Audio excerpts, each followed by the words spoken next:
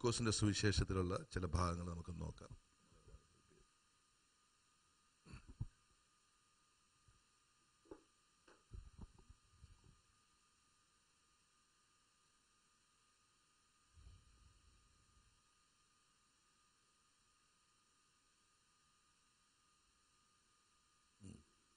സ്തോത്രം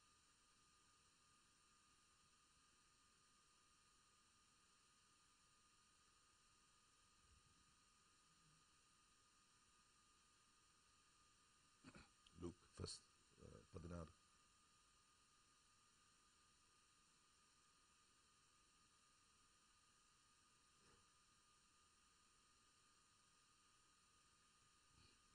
ധനവാന്മാരെ കുറിച്ച് പറയുന്ന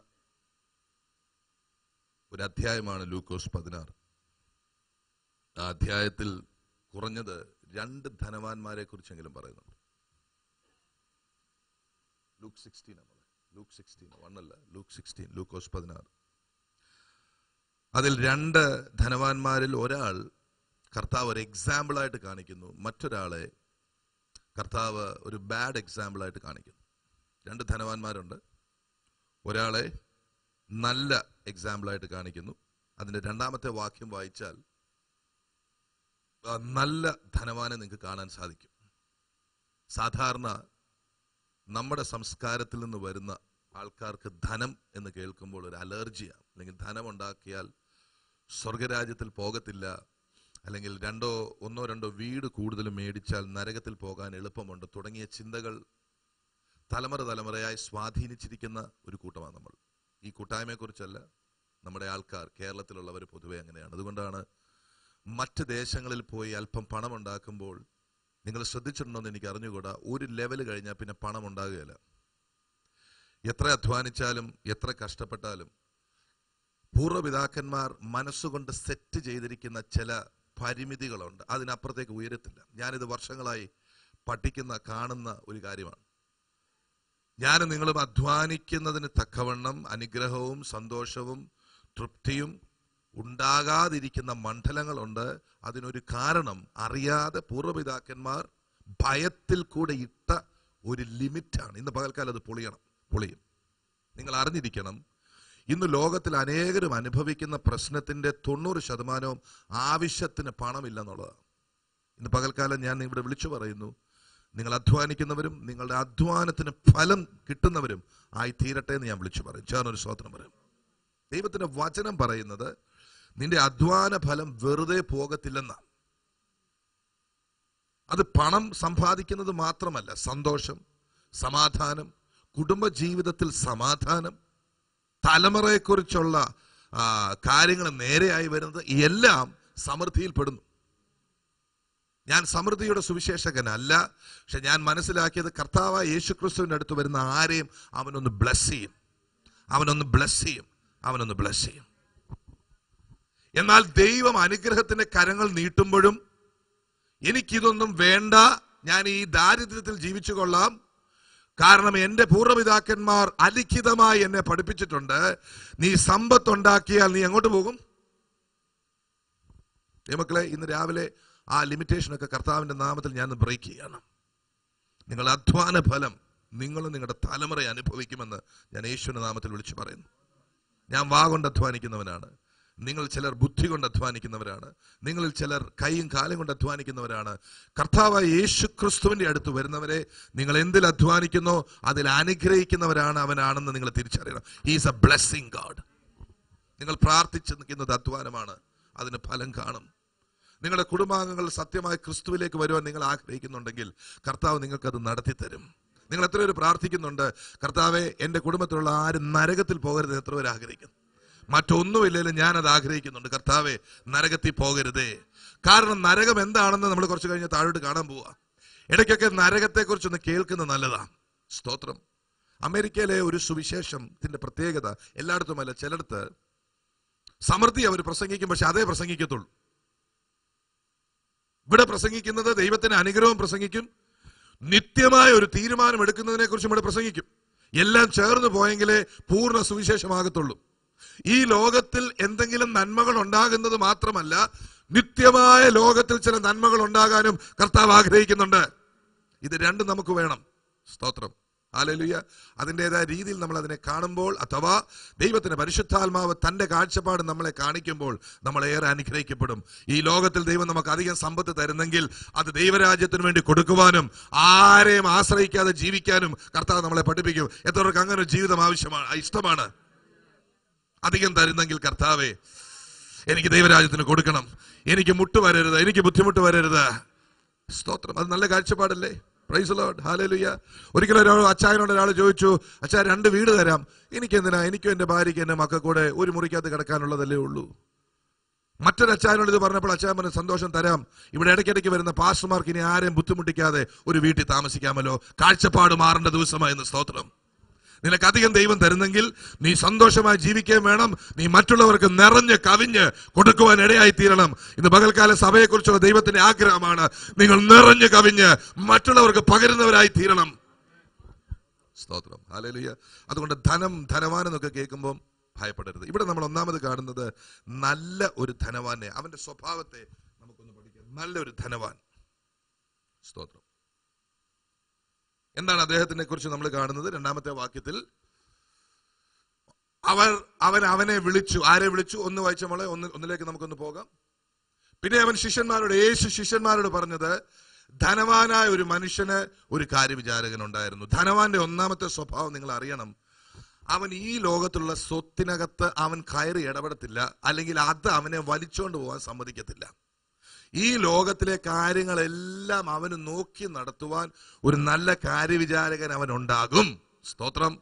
നമുക്കൊരു കാര്യവിചാരകനെ കർത്താവ് തന്നിട്ടുണ്ട്. എത്ര പേർക്ക് ഇത് ഉൾക്കൊള്ളാൻ പറ്റുമെന്ന് എനിക്ക് അറിഞ്ഞുകൂടെ വിശ്വാസത്തോടെ ഞാൻ പ്രസംഗിക്കുകയാണ്. ഇഹലോക നിങ്ങളുടെ സമ്പത്തുകളെല്ലാം നല്ലതുപോലെ വിചാരകൻ ചെയ്യുന്ന ഒരാളെ സ്വർഗത്തിൽ നിന്ന് ദൈവം നിങ്ങൾക്ക് തന്നിട്ടുണ്ട്. മനസ്സിലാവുന്നവർക്കായി സ്തോത്രം. അവൻ ഇഷ്ടമുള്ളതുപോലെ അവന് കാര്യവിചാരകത്വം നടക്കാനുള്ളതുപോലെ ഈ ലോകത്തിലെ കാര്യങ്ങളൊക്കെ ഒന്ന് ഏൽപ്പിച്ചാൽ നിങ്ങൾക്ക് സ്വസ്ഥമായിട്ടിരിക്കാം കാര്യങ്ങൾ നടക്കുകയും ചെയ്യും. ശരീരം സ്വാതന്ത്ര്യം വേണം. അതാണ് പരിശുദ്ധാത്മാവ് ഞാൻ പറയാം ഞാനിത് പറയുന്നത് അച്ഛൻ അല്പം അല്പം സാധാരണ മനസ്സുകൾക്ക് അത് പെട്ടെന്ന് പിടികിട്ടാനൊക്കത്തില്ല. നിങ്ങൾക്കത് പിടികിട്ടുമെന്ന് ഞാനൊന്ന് വിശ്വസിച്ചോട്ടെ. ദൈവദാസന്മാരുടെ മനസ്സറിയാതെ വാക്കിനെ മാട്ടുകയും കോട്ടുകയും ചെയ്യുന്ന ഒരു കാലഘട്ടത്തിലാണ് നമ്മൾ ജീവിക്കുന്നത്. എന്നാൽ നിങ്ങൾ സത്യം തിരിച്ചറിയുമെന്ന് ഞാൻ കർത്താവിൽ ആഗ്രഹിക്കുകയാണ്. നിങ്ങൾക്കുള്ളതെല്ലാം കർത്താവിനെ ഒന്ന് ഏൽപ്പിക്കുന്നതേ ഞാൻ പറഞ്ഞുള്ളൂ. കർത്താവ് അത് നടത്തി തരുമെന്നേ പറഞ്ഞുള്ളൂ. സ്തോത്രം. എന്നാൽ കർത്താവിന്റെ താല്പര്യപ്രകാരം നിങ്ങൾ കർത്താവുമായിട്ട് ഒന്ന് പാർട്ട്ണർ ചെയ്യണം. സ്തോത്രം. കർത്താവുമായി നമുക്ക് എവിടെ പാർട്ട്ണർഷിപ്പ് ഉണ്ടോ അവിടെ എല്ലാം ജയമാ.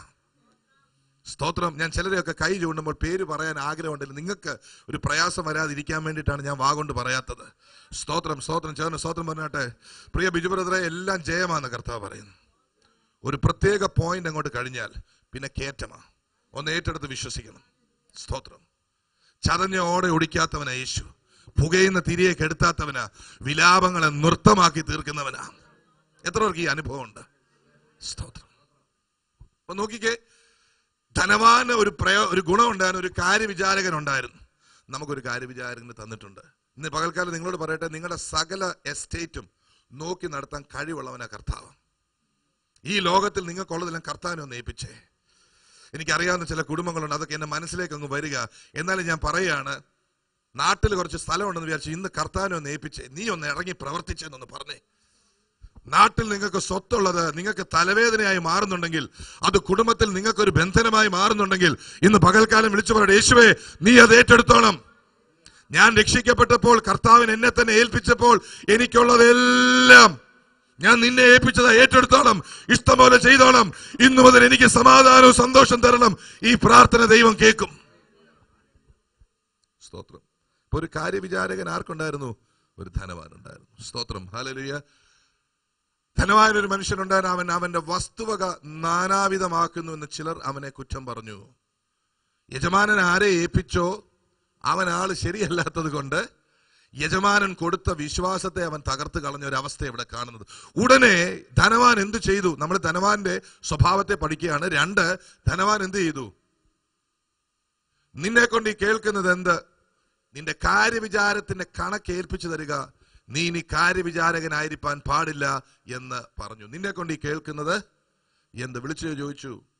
നീ സ്റ്റഡി അല്ല നിന്നെ കുറിച്ച് ഞാൻ ദോഷമായത് കേട്ടു. എന്നാലും നിനക്ക് ഒരു ഓപ്പർച്യൂണിറ്റി ഞാൻ തരികയാണ്.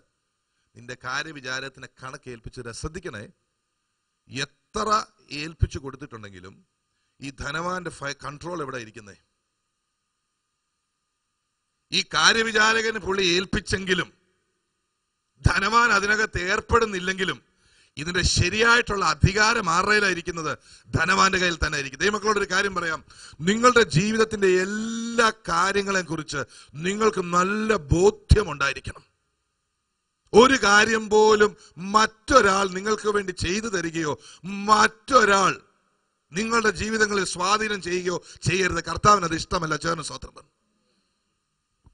ഇപ്പൊ നിങ്ങളുടെ കയ്യിൽ വിചാരിച്ച തെറ്റ് പേഴ്സ് എടുക്കാൻ പറഞ്ഞതല്ല. നിങ്ങളുടെ കയ്യിൽ എത്ര ഡോളർ ഉണ്ടെന്ന് ചോദിച്ചാൽ നിങ്ങൾക്ക് എത്ര പേർക്ക് കൃത്യമായിട്ട് പറയാൻ പറ്റും? നല്ലൊരു ശതമാനം എനിക്കറിയാൻ മേല. ഞാൻ നോക്കിയില്ല. അവ എല്ലാം രണ്ടോ മൂന്നോ ഡോളർ കാണും പത്ത് ഡോളർ കാണും എന്ന് പറയത്തുള്ളൂ. ബാങ്കിൽ എത്ര രൂപയാണെന്ന് ചോദിച്ചാൽ അറിയാൻ മേലെ ഭർത്താവ് നോക്കുന്ന ഭാര്യ നോക്കുന്നത് ഞാൻ ജോലി ചെയ്ത് അവിടെ കൊണ്ട് ഇടാറേ ഉള്ളൂ പുള്ളിക്കാരനെല്ലാം ചെയ്യുന്നു. ഏത് കാര്യത്തിനും കൃത്യത നമുക്കുണ്ടായിരിക്കാൻ കർത്താവ് ആഗ്രഹിക്കുന്നു. യു ഷുഡ് നോ നിങ്ങൾ അറിഞ്ഞിരിക്കണം. നിങ്ങളെ സംബന്ധിക്കുന്ന എല്ലാ കാര്യങ്ങളും നിങ്ങൾ അറിഞ്ഞിരിക്കണം. നിങ്ങൾക്ക് നിങ്ങളുടെ മേൽ തന്നെ ഒരു അധികാരം ഉണ്ടായിരിക്കാൻ ഈ പകൽക്കാലം ഞാൻ കർത്താവിൽ ആശ്രയിച്ചൊരു ദൂത് പറയുകയാണ്. നിങ്ങളിൽ എത്ര പേർക്കറിയാം നിങ്ങൾ എത്ര നാൾ ജീവിച്ചിരിക്കുന്നു അറിയാം? അറിയാമോ? എനിക്കറിയാം. അഹങ്കാരം പറയല്ല. എന്നെ എന്റെ സംസാര രീതി പരിചയമില്ലാത്തൊരു തിരുവേരുണ്ട് ക്ഷമിക്കണം. കർത്താവിൽ ഞാൻ അറിയുന്നു. ഹലലുയ്യ നമ്മൾ എത്ര നാൾ ജീവിച്ചിരിക്കുന്നു നമുക്ക് നന്നായിട്ട് അറിയാൻ പറ്റിയ നമ്മുടെ ജീവിതം നല്ലതുപോലെ ക്രമീകരിക്കാൻ നമുക്ക് പറ്റും. സ്തോത്രം. പ്രൈസ് ലോഡ് നിങ്ങളെ സംബന്ധിക്കുന്ന ഓരോ വിഷയവും കർത്താവ് നിങ്ങളെ അറിയിക്കാൻ മനസ്സാ. ഏത് കാര്യവും തലയിൽ എത്ര മുടി ഉണ്ടാകുന്നെന്ന് വരെ അറിയാവുന്ന കർത്താവ്. അവന് നിങ്ങളെക്കുറിച്ച് എല്ലാം അറിയാം. എന്നാൽ ആ അറിവ് നിങ്ങളിലേക്ക് പകരപ്പെടുന്നതാണ് എന്റെ നിങ്ങളുടെയും ജീവിതത്തിന്റെ വലിയ ജയം. കർത്താവ് എന്നെക്കുറിച്ച് അറിയുന്നത് എന്റെ ഭാവിയെക്കുറിച്ച് അറിയുന്നത് എന്റെ തലമുറയുടെ ഭാവിയെക്കുറിച്ച് അറിയുന്നത് എന്നോടും കൂടെ പറയുന്നെങ്കിൽ ഞാൻ എത്ര അനുഗ്രഹിക്കപ്പെട്ടവനാണ്. കർത്താവിന്റെ വരവ് താമസമാണെങ്കിൽ ഞാൻ ഇങ്ങനെ ചിന്തിക്കാറുണ്ട്. കഴിഞ്ഞ ദിവസം എന്റെ മക്കളെ വിളിച്ച് ഞാൻ പറഞ്ഞു മക്കളെ കർത്താവിന്റെ വരവ് താമസമാണെങ്കിൽ ഞങ്ങളൊക്കെ കർത്താവിനോട് ചേരുന്ന ഒരു സമയം വരുന്നുണ്ട്. ഇത് റിയാലിറ്റിയാണ്. എപ്പോഴും ഇങ്ങനെ അങ്ങ് മക്കളോട് അങ്ങ് ഇരിക്കാനൊക്കത്തില്ല ഞങ്ങൾ ഞങ്ങൾ കർത്താവിനോടൊപ്പം ചേരുന്ന ഒരു സമയം വരും. കർത്താവിന്റെ വരവ് താമസമാണെങ്കിൽ നിങ്ങൾ കണ്ടിന്യൂ ചെയ്യും. ഓർത്തുകൊള്ളണം. ഞാൻ അവരെ ചില കാര്യങ്ങൾ പറഞ്ഞു പഠിപ്പിച്ചു. ഞാൻ പറഞ്ഞു നിങ്ങളിത് മറക്കരുത്. നമ്മൾ എന്തിനു വേണ്ടി നിൽക്കുന്നു? നമ്മൾ ആർക്കു വേണ്ടി നിൽക്കുന്നു. എന്താണ് നമ്മളെ നടത്തുന്നത്? ഇത് മറക്കരുത് എന്ന് തലമുറയോട് പറയാൻ ഇടയായി അവരോട് ഞാൻ ഒത്തിരി കാര്യങ്ങൾ ഭാവിയെക്കുറിച്ചുള്ള ചില കാര്യങ്ങൾ അവരോട് ഞാൻ പറഞ്ഞു മനസ്സിലാക്കി. കാരണം എന്നെക്കുറിച്ച് ദൈവത്തിന്റെ പദ്ധതി എനിക്ക് നന്നായിട്ട് അറിയാം. സ്തോത്രം. ദൈവത്തിന് അറിയാവുന്ന അറിവ് നമ്മളെക്കുറിച്ച് അറിയുന്ന ഒരറിവിലേക്ക് വരട്ടെ എന്ന് ഈ പകൽക്കാലം ഞാൻ ഞാൻ ആഗ്രഹിക്കുകയാണ്. ഒത്തിരി ഭക്തന്മാരെ കുറിച്ച് ഞാൻ കഥ കേട്ടിട്ടുണ്ട്. അവർ എത്ര നാൾ ജീവിച്ചിരിക്കുമെന്ന് ദൈവം അവരോട് പറഞ്ഞിട്ടുണ്ട്. മരിക്കുന്നതിന് ഏതാനും മാസങ്ങൾക്ക് മുമ്പ് എടുക്കപ്പെടാൻ സമയമായെന്ന് പറയുന്ന ഭക്തന്മാരെ കുറിച്ച് ഞാൻ കേട്ടിട്ടുണ്ട്. സ്തോത്രം. അതിലൊരാൾ ഫിലഡൽഫിയയിൽ താമസിക്കുന്നുണ്ട്.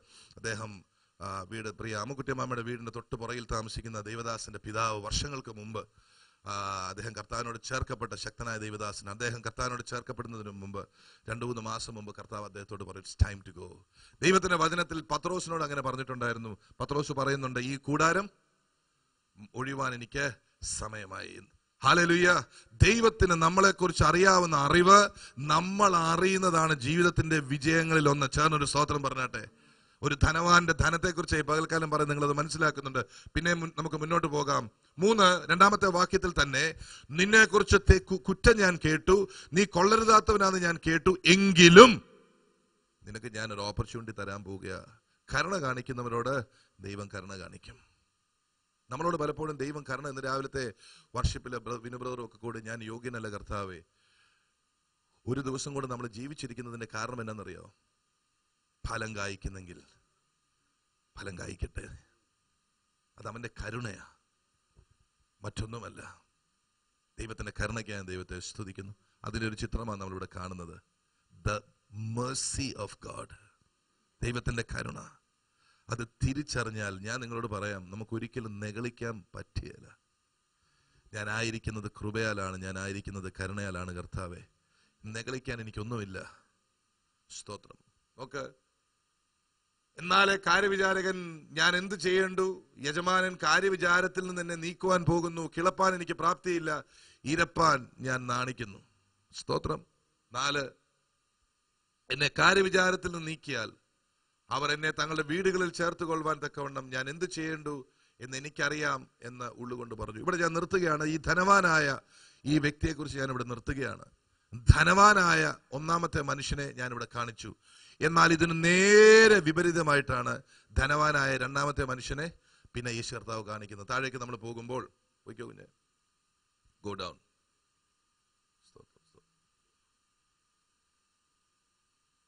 താഴോട്ട് go down keep going down നോക്ക് അടുത്ത ധനവാൻ. രണ്ട് ധനവാന്മാരാണ്. ഒരു ധനവാനെ ഞാൻ നിങ്ങൾക്ക് കാണിച്ചു തന്നു. അല്ലെങ്കിൽ പരിശുദ്ധാത്മാവ് കാണി കണ്ട നിങ്ങൾ എത്ര പേര് കണ്ടായിരുന്നു ആ ധനവാനെ? സ്തോത്രം. നല്ലൊരു ധനവാൻ. ഏബിൾ ടു മാനേജ് ഹിംസെൽഫ് അതോറിറ്റിയുള്ള അധികാരമുള്ള ഒരു ഒരു വ്യക്തിയെ നമ്മൾ കണ്ടു. അടുത്ത ധനവാൻ. ധനവാനായ ഒരു മനുഷ്യനുണ്ടായിരുന്നു. അവൻ ധൂമ്ര വസ്ത്രവും പട്ടും ധരിച്ച് ദിനംപ്രതി ആഡംബരത്തോടെ സുഖിച്ചുകൊണ്ടിരുന്നു. പുള്ളിയുടെ പ്രധാന ജോലി എന്തായിരുന്നു? സുഖിച്ച് ജീവിക്കുകയാണ് പുള്ളിയുടെ ജോലി. ശ്രദ്ധിക്കണേ കഥാവ് വചനം നമ്മൾ തരുമ്പോൾ നമ്മുടെ മനസ്സുകൊണ്ട് നമ്മളത് വായിച്ചാൽ നമ്മൾ കാണേണ്ടതേ കാണത്തുള്ളൂ. വേദപുസ്തകം വായിച്ചിട്ടും കർത്താവിന്റെ വെളിപ്പാട് പലർക്കും കിട്ടാത്തതിന്റെ കാരണം എന്താണെന്നറിയാമോ? ഇവരുടെ മനസ്സിലുള്ള ആശയങ്ങളാണ് അവർ ഈ കാണുന്നത്. ദൈവത്തിന്റെ പരിശുദ്ധാത്മാവ് ദൈവത്തിന്റെ വചനം നമുക്ക് കാണിച്ചു തരാൻ പ്രാർത്ഥിച്ചിട്ട് ദൈവവചനം പഠഞ്ഞ പഠിച്ചാൽ ഞാൻ നിങ്ങളോട് പറയുന്നു ഇതുപോലെ സന്തോഷമുള്ള ഒരു കാര്യം വേറെ ഇല്ല. യൂട്യൂബിനേക്കാൾ ഫേസ്ബുക്കിനേക്കാൾ ഇൻസ്റ്റാഗ്രാമിനേക്കാൾ അനുഗ്രഹവും സന്തോഷവുമാണ് ദൈവത്തിന്റെ വചനം ധ്യാനിക്കുന്നത്. അതിന് സമയം കണ്ടെത്തട്ടെ. സഭ അതിന് സമയം കണ്ടെത്തട്ടെ. ദൈവത്തിന് സ്തോത്രം. പ്രാർത്ഥന നല്ലതാണ്. വളരെ വളരെ വളരെ പ്രാർത്ഥിക്കുന്നു. വളരെ നല്ലതാണ്. ദൈവത്തിന്റെ വചനം പരിശുദ്ധാത്മാവിൽ പഠിച്ചെങ്കിൽ മാത്രമേ പ്രാർത്ഥനകൾ യഥാർത്ഥത്തിൽ സ്വർഗം കേൾക്കത്തുള്ളൂ. ഇത് സത്യസത്യമായി ഞാൻ നിങ്ങളോട് വിളിച്ചു പറയുകയാണ്. സ്തോത്രം. ഇതൊന്ന് നമുക്ക് ശരിക്കും പരിശുദ്ധാത്മാവിൽ ഒന്ന് വായിക്കാം. ഒന്ന് ധനവാനായ ഒരു മനുഷ്യൻ പുള്ളിക്ക് പേരില്ല കേട്ടോ. അമേരിക്കയിൽ ഒത്തിരി മില്യനേഴ്സ് ഉണ്ട്. അവർക്ക് ആർക്കും പേരില്ല. മില്യനേഴ്സ് മാത്രമാണ്. സ്തോത്രം. എന്ന് പറഞ്ഞതുപോലെ ആ ദേശത്ത് ഒരുപാട് ധനവാന്മാരുണ്ടായിരുന്നു. അതിലൊരു ധനവാൻ. ധനമുള്ളത് കൊണ്ട് മാത്രം പ്രസിദ്ധനായ ഒരു മനുഷ്യൻ. പണമുണ്ട്. ചോദിക്കപ്പെടുന്നുണ്ട്. കുറച്ച് പണമുണ്ട്. സ്വത്തുണ്ട്. വീടുണ്ട്. അതുണ്ട്. സന്തോഷമില്ല. സമാധാനമില്ല. ഒന്നുമില്ല. ഏതാണ്ട് ആ അർത്ഥത്തിൽ വരുന്ന ഒരു മനുഷ്യനാ. വായിച്ചേ ധനവാനായ ഒരു മനുഷ്യനുണ്ടായിരുന്നു. അവൻ ധൂമ്രവസ്ത്രവും പട്ടും ധരിച്ച് എന്നോട് പറഞ്ഞ പുള്ളിക്ക് ഇതൊക്കെ വീക്ക്നെസ്സാ പട്ടിട്ടില്ലേ പുള്ളിക്ക്? വലിയ പ്രയാസം. കൂട്ടത്തിൽ പറയാം ഇത് അങ്ങനത്തെ ഒരു ബന്ധുക്കോശ സഭയൊന്നുമല്ല. ഇഷ്ടമുള്ള വസ്ത്രം ധരിക്കാം. ഇവിടെ ആരുടെ വസ്ത്രത്തെ പിടിക്കാൻ വരുന്ന സഭയല്ല. ആരുടെ മീശയിലും താടിയിലും പിടിക്കാൻ വരുന്ന സഭയല്ല. ആരുടെ ആഭരണത്തിലും പിടിക്കാൻ വരുന്ന സഭയല്ല. ചേർന്ന് സ്വത്രം പറഞ്ഞു. ഞങ്ങൾക്ക് വേറെ പണിയുണ്ട്. അടുത്തിരിക്കുന്ന ആളോട് പറഞ്ഞു ഞങ്ങൾക്ക് വേറെ പണിയുണ്ട്. ഹാലേലിയ സ്തോത്രം. അതല്ല ഇവിടെ പറയുന്നത്. കാരണം നമ്മൾ ഉദ്ദേശിക്കാത്ത അർത്ഥങ്ങളൊക്കെ എടുക്കാൻ സാധ്യതയുള്ളത് കൊണ്ട് അതല്ല ഇവിടെ പറയുന്നത്. പക്ഷേ ഈ മനുഷ്യനെ സംബന്ധിച്ചിടത്തോളം അയാളുടെ ജീവിതത്തിൽ സന്തോഷം അയാൾക്ക് കിട്ടുന്നത് എങ്ങനെയാണ്? ധൂമ വസ്ത്രം ധരിക്കുന്നതും പട്ട് ധരിക്കുന്നതൊക്കെ പുള്ളിക്ക് ഒരു സന്തോഷമാണ് വല്ലപ്പോഴും ഒക്കെ ധരിക്കുന്നതുകൊണ്ട് കുഴപ്പമൊന്നുമില്ല എന്നാ ഞാൻ പറയുന്നത്. നിങ്ങൾ ധരിക്കണം ഞാൻ ധരിച്ചോളാം. സ്തോത്രം. പക്ഷേ അവനവന്റെ മനസാക്ഷിക്ക് അനുസരിച്ച് ചെയ്തോ. പുള്ളിക്ക് ഇത് ഇല്ലെങ്കിൽ പുള്ളിക്ക് ഇത് ഇട്ടെങ്കിലേ സന്തോഷമുള്ളൂ. പുള്ളിയുടെ സന്തോഷം വരുന്ന എവിടുന്ന? ഈ പറയുന്ന പട്ടിന്നാ പുള്ളിയുടെ സന്തോഷം വരുന്നത്. ഹലലുയ്യ മനസ്സിലാവുന്നുണ്ടോ? കർത്താവ് പട്ടിടണ്ടെന്നൊന്നും പറഞ്ഞില്ലല്ലോ. സ്തോത്രം. പക്ഷെ ഇതാണ് പുള്ളിയുടെ സന്തോഷം. നോക്കണമേ ഈ സന്തോഷം എന്തായി തീരാൻ പോകുന്ന നിങ്ങളെ ഇന്ന് പകൽക്കാലം അറിയിക്കുകയാണ് എന്റെ ജോലി. കർത്താവിന് സഹായിക്കട്ടെ. പരിശുദ്ധാത്മാ നിങ്ങളോട് ഇടപെട്ടെ അവൻ ധൂമ്ര വസ്ത്രവും പട്ടും ധരിച്ച് ദിനം പ്രതി ആഡംബരത്തോടെ പുള്ളിയുടെ ജീവിതത്തിന്റെ ലക്ഷ്യം എന്താണ് എനിക്ക് സന്തോഷിക്കണം. രാവിലത്തെ ബ്രേക്ക്ഫാസ്റ്റ് ഇങ്ങനെ ആയിരിക്കണം പുള്ളി ആഗ്രഹിക്കുന്ന ബ്രേക്ക്ഫാസ്റ്റ് കിട്ടും. അപ്പൊ ഭക്ഷണം കഴിക്കുന്നതിന് പുള്ളിക്കൊരു അവിടെ ഇരിക്കും ഒരു രണ്ട് രണ്ടര മണിക്കൂർ ആഹാരം കഴിച്ചങ്ങ് ഇരിക്കുക വേറെ പണിയൊന്നും ഇല്ലല്ലോ അപ്പോഴത്തേക്ക് ഉച്ചയ്ക്ക് കഴിക്കാൻ സമയമാവും. അപ്പൊ ഭാര്യ ചോദിക്കും ഇനി എന്തിനാ കഴിക്കുന്നല്ല? അങ്ങനല്ല. പൂർവപിതാക്കന്മാരായ പരിചയമുള്ള ഉച്ചയ്ക്ക് ആഹാരം കഴിക്കണം. അപ്പൊ അതും കഴിച്ചു. എന്നാ പിന്നെ ഇനി എന്ത് ചെയ്യുന്ന? അപ്പൊ ഒന്ന് റെസ്റ്റ് ചെയ്തേക്കാം. കാരണം ജോലി ചെയ്യേണ്ട കാര്യമൊന്നും ഇല്ലല്ലോ ഇഷ്ടം പോലെ അപ്പൻ ഉണ്ടാക്കി വെച്ചേക്കല്ലേ സ്തോത്രം. അതിനുശേഷം വൈകിട്ട് എഴുന്നേറ്റ് പിന്നെയും പിന്നെ ഒരു ആഗ്രഹമുണ്ട്. ഇടയ്ക്ക് നാല് മണിയൊക്കെ ആകുമ്പോഴത്തേക്കും ഈ പട്ടുവസ്ത്രമൊക്കെ ഒന്ന് ധരിച്ച് എല്ലാവരുടെ മുമ്പിൽ ഒന്നിക്കുമ്പം ഈ വങ്കന്റെ വിചാരം ഇവനെ കണ്ടാണ് ആൾക്കാർ ഇങ്ങനെ കൈപൊക്കുന്നത് നാല് മണിയൊക്കെ ആകുമ്പോഴത്തേക്കും പുള്ളിക്കാരൻ അവിടെ നിന്നേച്ചും വലിയ ആഡംബര വസ്ത്രമൊക്കെ ഇട്ടിച്ച് പുള്ളി ഇങ്ങനെ നിൽക്കുമായിരിക്കും. വഴിപോക്കന്മാരൊക്കെ നോക്കിയേച്ചും. ഓ അച്ഛാ ദൈവം അനുഗ്രഹിച്ചല്ലോ. പ്രൈസ് ദ ലോഡ് എന്നാ പാവപ്പെട്ടവൻ ചു- ഒരുത്തൻ പട്ടിണി കിടക്കുന്നൊന്നും പുള്ളി കാണുന്നില്ല. പുള്ളിയുടെ ഒരു സന്തോഷം എന്തുവാ? ഈ പട്ടൊക്കെ ഇട്ട് പത്ത് പേര് പുള്ളിയെക്കുറിച്ച് നല്ല വാക്ക് പറയുന്നത് കേൾക്കുമ്പം ഈ വിഡ്ഢിയാനൊരു ചിന്തയുണ്ട്. ഐ എം സംബടി ദൈവമക്കളോട് ഞാനൊരു കാര്യം പറയട്ടെ. മനുഷ്യർ നിങ്ങളെക്കുറിച്ച് പറയുന്നതിന് ചെവി കൊടുക്കരുത്.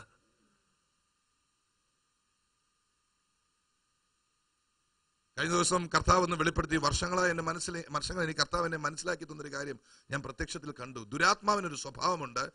രഹസ്യമായി നിങ്ങളെക്കുറിച്ച് ചിലത് പറയും. അറിവില്ലാത്ത ചില മനുഷ്യരെ കുറിച്ച് നിങ്ങളെ കുറിച്ച് ചില അഭിപ്രായങ്ങളൊക്കെ പറയിക്കും. ദൈവത്തിന്റെ പൈതലെ നീ കേട്ടുകൊള്ളണം. ആര് നിന്നെക്കുറിച്ച് എന്തു പറഞ്ഞാലും നിലനിൽക്കുന്നത് ദൈവം നിന്നെക്കുറിച്ച് പറഞ്ഞത് മാത്രമേ ഉണ്ടായിരിക്കത്തുള്ളൂ. ദൈവം നിന്നെ അനുഗ്രഹിച്ചെന്ന് പറഞ്ഞാൽ അതിനെ ബ്രേക്ക് ചെയ്യുവാൻ ആർക്കും സാധ്യമല്ല. കർത്താവ് നിരന്തരം നിങ്ങളെക്കുറിച്ച് സംസാരിച്ചുകൊണ്ടിരിക്കുക. സ്വർഗത്തിൽ നിങ്ങൾക്ക് വേണ്ടി വാദിച്ചുകൊണ്ടിരിക്കുക. അത് എന്റേതാണ്. എന്റെ രക്തം വീണതാണ്. അത് എന്നെ വിശ്വസിക്കുന്നതാണ്. കുറവുകളുണ്ട് പോരായ്മകളുണ്ട്. അത് നികത്താനും ഞാൻ മതിയായവനാണ്. വിശ്വസി ദൈവത്തെ സ്തുതിക്കണം. സ്തോത്രം. ദിനം പ്രതി ആഡംബരത്തോടെ സുഖിച്ചു പുള്ളി അങ്ങ് ജീവിക്കുക. ഇരുപതാമത്തെ വാക്യം. ഇത് വായിക്കുന്നതിന് മുമ്പ് പറയുന്നു ഇതാരും ആഗ്രഹിക്കരുത്. ലാസർ എന്ന പേരുള്ള ഒരു ദരിദ്രൻ വ്രണം നിറഞ്ഞവനായി അവന്റെ പടിപ്പുരയ്ക്കൽ കിടന്നു. സത്യം പറയട്ടെ ഇതിനകത്തിരിക്കുന്ന ചില അമ്മാമ്മമാരെങ്കിലും ഇത് ആഗ്രഹിക്കുന്നുണ്ട്. ഇന്ന് പകൽക്കാലം ഈ മനോഭാവം വെടിഞ്ഞ് ഇവിടുന്ന് പോകാം ചേർന്ന് സ്വത്രമൻ കാരണം എങ്ങനെയും എനിക്ക് സ്വർഗത്തിൽ പോകണം അതിന് പട്ടിണി കിടന്നാലും വേണ്ടില്ല വ്രണം പറ്റിയാലും വേണ്ടില്ല പത്ത് പേര് എന്നെ ദരിദ്രെന്ന് വിളിച്ചാലും കുഴപ്പമില്ല. ദൈവമക്കളെ അതൊരു ദുരുപദേശമാണ്. നിങ്ങൾ ദാരിദ്ര്യത്തിലായതുകൊണ്ട് ഒരു കാലത്തും ആരും സ്വർഗരാജ്യത്തിൽ പോയിട്ടില്ല. ദരിദ്രൻ സ്വർഗത്തിൽ പോയതിന്റെ കാരണം അവൻ വിശ്വസിച്ചത് കൊണ്ടാ ഇത് തിരിച്ചറിയണം. നീ ദരിദ്രനായതുകൊണ്ടോ ധനവാനായതുകൊണ്ടോ നരകത്തിൽ പോവുകയോ സ്വർഗത്തിൽ പോവുകയോ ഇല്ല. നീ വിശ്വസിച്ചെങ്കിൽ മാത്രമേ നീ സ്വർഗത്തിൽ പോകത്തുള്ളൂ. ലാസർ എന്ന പേര്. പിന്നെ സ്വർഗത്തിൽ പേരുണ്ട് കേട്ടോ. മറ്റവന് പേരില്ല. ഇവൻ ആഡംബരം ഒന്നും ഇല്ലെങ്കിലും പേരുള്ളവനാ. ചേർന്നൊരു സ്വത്രം പറഞ്ഞേ. ഈ പേരുള്ളതിനെ കുറിച്ച് കർത്താവ് എന്നോട് ഇടപെടുന്ന ഒരു വിഷയം പറയാം. പേരെന്ന് പറയാം വ്യക്തിത്വമുള്ളവനാണ് എന്ന് പറയാൻ ഞാൻ ആഗ്രഹിക്കുന്നു. ഇന്നത്തെ കാലത്ത് മനുഷ്യരുടെ ഏറ്റവും വലിയ പ്രശ്നം വ്യക്തിത്വമില്ലെന്നുള്ളതാണ്. ആരുടെ എന്തെങ്കിലും ചോദിച്ചു അത് ഇന്നാര് പറഞ്ഞായിരുന്നു? നേരിട്ട് പറയാനൊന്നുമില്ല. അവർ പറഞ്ഞായിരുന്നു. പിന്നെ ഇവർ പറഞ്ഞായിരുന്നു. നിനക്ക് പറയാനൊന്നുമില്ലേ? അവനവന്റെ താല്പര്യങ്ങൾക്കു വേണ്ടി നിലനിൽക്കുന്ന വ്യക്തിത്വമുള്ളവർ ഇന്ന് ലോകത്തിൽ കുറവാണെന്ന് ഞാൻ നിങ്ങളോട് പറഞ്ഞു. സഭയെ നിങ്ങളെ അങ്ങനല്ല ദൈവം കണ്ടേക്കുന്നത്. എനിക്കൊരു വ്യക്തിത്വമുണ്ട്. എനിക്കൊരു അഭിപ്രായമുണ്ട്. എനിക്ക് എന്റെ യേശുവിൽ നിന്നും പ്രാപിച്ച ചില വെളിപ്പാടുകളുണ്ട്. സ്തോത്രം. ഹാലലുയ്യ ഞാൻ നിങ്ങളോട് ചോദിക്കട്ടെ ഈ സഭയിൽ സ്നാനം പഠിപ്പിക്കുന്ന ഒരു സഭയാണ് സ്നാനം അനുഷ്ഠിക്കുന്ന സഭയാണ്. അത് ഏതെങ്കിലും ഒരു പ്രത്യേക ഗ്രൂപ്പിന്റെതല്ല ദൈവത്തിന്റെ വചനം പറഞ്ഞതുകൊണ്ട് ഞങ്ങളത് പഠിപ്പിക്കുന്നു. ഞാൻ സ്നാനപ്പെട്ടതാണ് പ്രിയ വൈദികൻ സ്നാനപ്പെട്ടതാണ്. പലരും ഇവിടെ കർത്താവിൽ വിശ്വസിക്കുന്നു. പക്ഷേ ഞാൻ ചിലരോട് ചോദിക്കുമ്പോൾ എനിക്ക് മനസ്സിലാകുന്നു നിങ്ങൾ എന്തിനാണ് സ്നാനപ്പെട്ടത്? എല്ലാവരും സ്നാനപ്പെട്ടെന്നാൽ പിന്നെ ഞാനും കൂടെ അങ്ങ് ഞാനായിട്ട് സ്നാനപ്പെടാതെ? അതല്ല വ്യക്തിത്വം. സ്നാനം ദൈവം അംഗീകരിക്കും.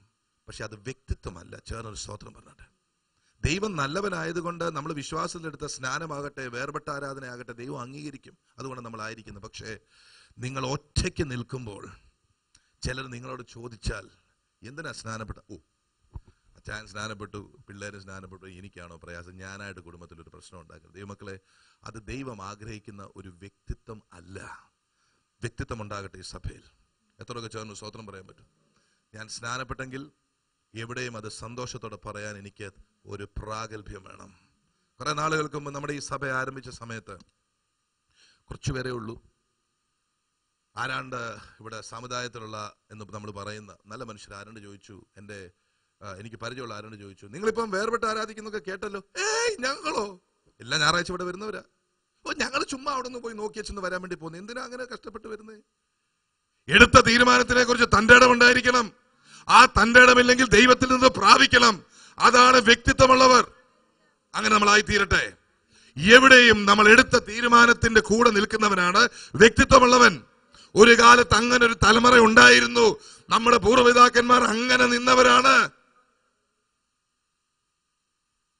ഞാൻ തീരുമാനമെടുത്തു. ഞാൻ അതിനകത്ത് നിൽക്കുന്ന അവർ പറഞ്ഞു ഇവർ പറഞ്ഞു അങ്ങനെ അവർ ഇവരും പറഞ്ഞ സ്വർഗത്തിൽ പോകത്തില്ല. അവനവൻ ഒരു തീരുമാനമെടുക്കണം. എത്ര പേർക്ക് സ്വോത്രം പറയാൻ പറ്റും? അതുകൊണ്ടാണ് കർത്താവ് ചോദിച്ചത് ദൈവപുത്രൻ വരുമ്പോൾ എന്തു കാണുമോ എന്നാ ചോദിച്ചത്? വിശ്വാസം കാണുമോ എന്നാ ചോദിച്ചത്? കർത്താവിന് അറിയാമായിരുന്നു തന്റെ ശിഷ്യന്മാർ കൂടെയുണ്ട്.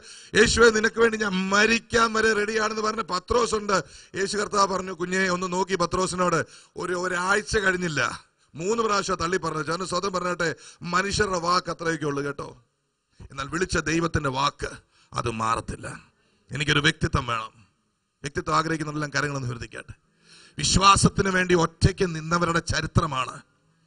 എക്കാലത്തും ദേശത്തെ മാറ്റിമറിച്ച ചരിത്രം. ആരുടെയെങ്കിലും ദേഹത്ത് പരിശുദ്ധാത്മാവ് വ്യാപരിക്കുന്നുണ്ടെങ്കിൽ ഓർത്തുകൊള്ളണം അവർ തന്നെ നിന്ന് തീരുമാനിച്ച തീരുമാനങ്ങളാ. അപ്പനുണ്ടേലും ഇല്ലേലും അമ്മ ഉണ്ടേലും ഇല്ലേലും സഹോദരങ്ങൾ ഉണ്ടേലും ഇല്ലേലും യേശു എന്റെ കൂടെ ഉണ്ടെന്നുള്ള തന്റെ ഇടം ഈ പകൽക്കാല സഭയുടെ മേൽ പകരപ്പെടട്ടെ. അങ്ങനെയുള്ളവർ പാടിയ പാട്ടാ പണ്ട്. ഏതാ? അപ്പനും അമ്മയും വീടും സുഖങ്ങളും വസ്തു സുഖങ്ങളും കർത്താവത്രേ. അങ്ങനെ നമുക്ക് പാടാൻ പറ്റുമോ ധാരാ പാടിയെന്നറിയോ? അദ്ദേഹത്തിന്റെ ചരിത്രം നിങ്ങൾക്കറിയോ? ഭാര്യയും മക്കളും പോലും അദ്ദേഹത്തെ ഉപേക്ഷിച്ചു തന്നാൽ അല്ല കൂടെ ജീവിക്കാൻ നിവൃത്തിയില്ലാത്തത്ര ദാരിദ്ര്യത്തിൽ ജീവിച്ച് അദ്ദേഹം പ്രയാസത്തിലായിരിക്കുമ്പോൾ തന്റെ ഭവനത്തിന് മുമ്പിലൂടെ ആരാണ്ട് കടന്നുപോയി അല്ലെങ്കിൽ അദ്ദേഹത്തെ കണ്ടപ്പോൾ കടം ചോദിക്കാനായിരിക്കും എന്ന് വിചാരിച്ച് തല കവർ ചെയ്ത് ഓടി ആരാണ്ട് മാറിയപ്പോൾ പുള്ളി പാടിയതാണ് ആരും സഹായമിൽ എല്ലാവരും പാരിൽ കണ്ടും കാണാതെയും പോകുന്നവർ.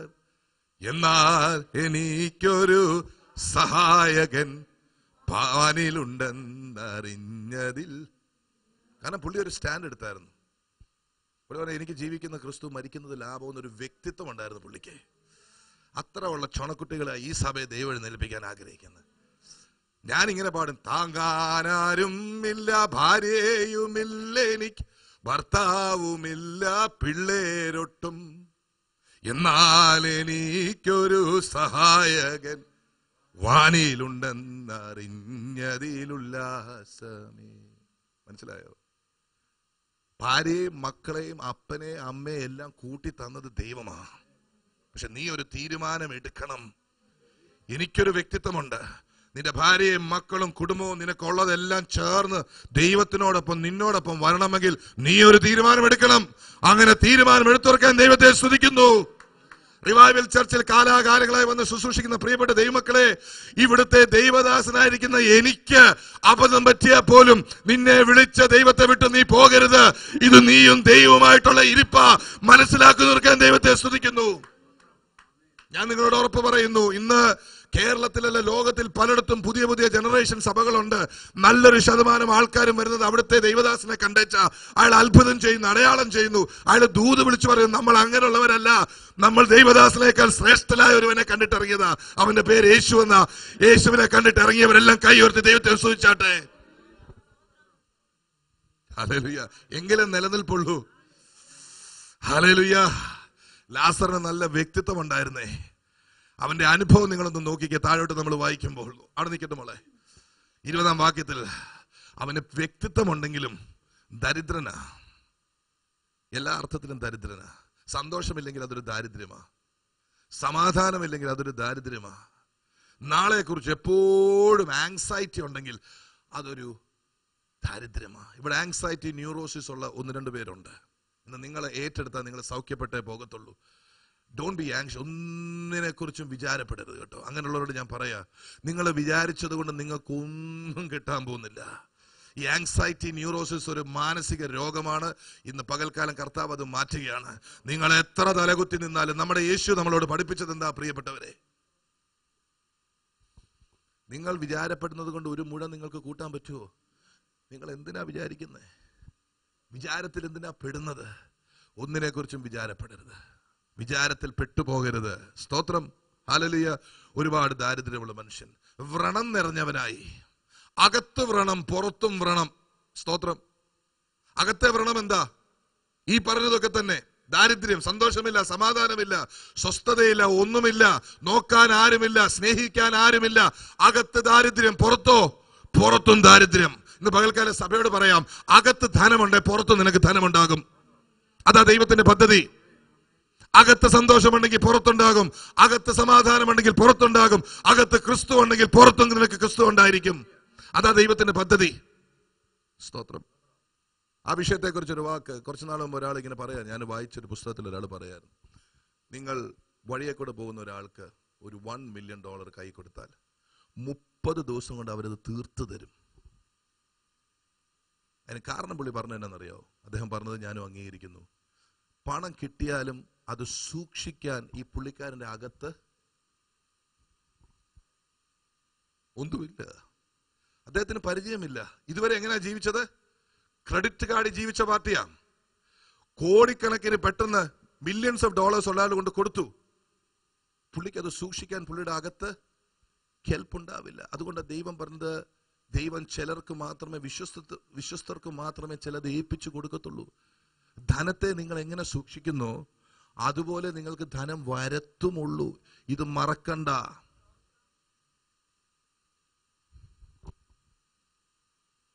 മൂവായിരം ഡോളർ മാസവരുമാനം അമേരിക്കയിൽ.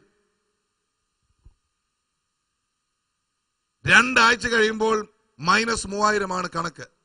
ചെലവ് ആറായിരം മൂവായിരം ഡോളർ ക്രെഡിറ്റുകാരന്റെ വായിൽ. സ്തോത്രം. ആരൊന്നും മിണ്ടിയില്ല. മിണ്ടത്തുമില്ല. മിണ്ടാൻ പറ്റത്തില്ല. പലരുടെയും ചിന്ത എന്നോട് പറയുന്നുണ്ട് pastor America is running on credit card ഞാൻ വണ്ടർഫുൾ നിങ്ങൾക്കറിയാമോ അമേരിക്കയിൽ യഥാർത്ഥത്തിൽ ധനമുള്ളവർക്ക് രണ്ട് സ്വഭാവമുണ്ട്. അമേരിക്കയിലെ മില്ലിനേഴ്സിനെ കുറിച്ച് ഞാൻ അല്പം വായിച്ചിട്ടുണ്ട്. പാസ്റ്റർക്ക് എന്നതിന്റെ കേടല്ലേ സ്തോത്രം. അവർക്കുള്ള പ്രധാനപ്പെട്ട രണ്ട് സ്വഭാവം നിങ്ങൾ കേട്ടുകൊള്ളു. ഒന്ന് അവർ ദൈവത്തെ വിളിക്കുന്നവരാ. രണ്ട് അവരുടെ വരുമാനത്തിൽ കവിഞ്ഞ ഒരു ചെലവ് അവർ സമ്മതിക്കുകയില്ല. ഇല്ലെങ്കിൽ ഇല്ല. ഉള്ളത് കൊണ്ട് അവർ ഇത് അമേരിക്കയിലെ കാര്യമാണ് നിങ്ങൾ കണ്ടിരിക്കുന്നതും കേട്ടിരിക്കുന്നതും അല്ലെങ്കിൽ പിശാജ് വെളിപ്പെടുത്തുന്ന ഒരു അമേരിക്ക ഉണ്ട് അത് അമേരിക്ക എവിടെ നിന്നറിയോ ഹോളിവുഡാ. ഹോളിവുഡ് എന്ന് പറഞ്ഞാൽ മേക്ക് ബിലീവാ ഇല്ലാത്ത കാര്യങ്ങളാണെന്ന് കാണിക്കുന്നതാണ് ഹോളിവുഡ്. എല്ലാ ലോകത്തിലുള്ള എല്ലാ സിനിമാക്കാരനും ജോലി അതാ. ആഡംബരം പണം ധനം എന്ന് പറഞ്ഞാൽ ആഡംബരം. അടിച്ചു പൊളിക്കാൻ ഇഷ്ടം പോലെ പണം ഉണ്ടാകുക എന്നുള്ളതാണ് ധനത്തെക്കുറിച്ച് ആൾക്കാർ ചിന്തിച്ചിരിക്കുന്നത്. നീ മക്കളെ ആ ഒരു ചിന്ത ഇന്ന് പകൽക്കാലം യേശുവിന്റെ നാമത്തിൽ നിങ്ങളുടെ മനസ്സിൽ നിന്ന് മാറിപ്പോട്ടെ. അമേരിക്ക ധനവാന്മാരുടെ നാടാണെന്നുള്ളത് സത്യമാണ്. അവരുടെ കയ്യിൽ ധനം ഇരിപ്പുണ്ട്. അത് വർദ്ധിച്ചുകൊണ്ടേ ഇരിക്കുന്നു. അവർ ദൈവവേലയ്ക്ക് കൊടുക്കുന്നു. അവർ ദൈവത്തെ മാനിക്കുന്നു. അവർക്ക് ഇഷ്ടം പോലെ സമയമുണ്ട്. നിങ്ങൾ തിരിച്ചറിയണം. നിങ്ങൾക്ക് സമയമുണ്ടെങ്കിൽ ദ മില്യനെയർ മൈൻഡ് സെറ്റ് എന്ന് പറഞ്ഞൊരു പുസ്തകം വായിക്കണം. ഒരു വ്യക്തി അമേരിക്കയിൽ ഒരുപാട് മില്ലനേഴ്സിനെ ഇന്റർവ്യൂ ചെയ്തിട്ട് അദ്ദേഹത്തിന് അദ്ദേഹം കണ്ടെത്തിയ കാര്യങ്ങൾ. അദ്ദേഹം ഒരു വിശ്വാസിയൊന്നുമല്ല. അദ്ദേഹം പറഞ്ഞതാണ് അവർ ദൈവത്തെ വിളിക്കുന്നവരും മര്യാദയ്ക്ക് ജീവിക്കുന്നവരുമാണ്. മിഡിൽ ഈസ്റ്റിൽ നിന്നും ഏതാ? സൗദി അറേബ്യയിൽ നിന്ന് മറ്റും വന്ന് വലിയ രാജകുമാരന്മാർ ഇവിടെ വന്ന് അവന്മാരുടെ പണം ഇവിടെ ഒഴുക്കുന്ന ചില മണ്ഡലങ്ങളുണ്ട് ചില സ്ഥലങ്ങളുണ്ട്. അതൊക്കെയാണ് ഇന്ന് ഹോളിവുഡ് വലിയ ധനവാന്മാർ ഏറ്റവും മുന്തിയ കാർ.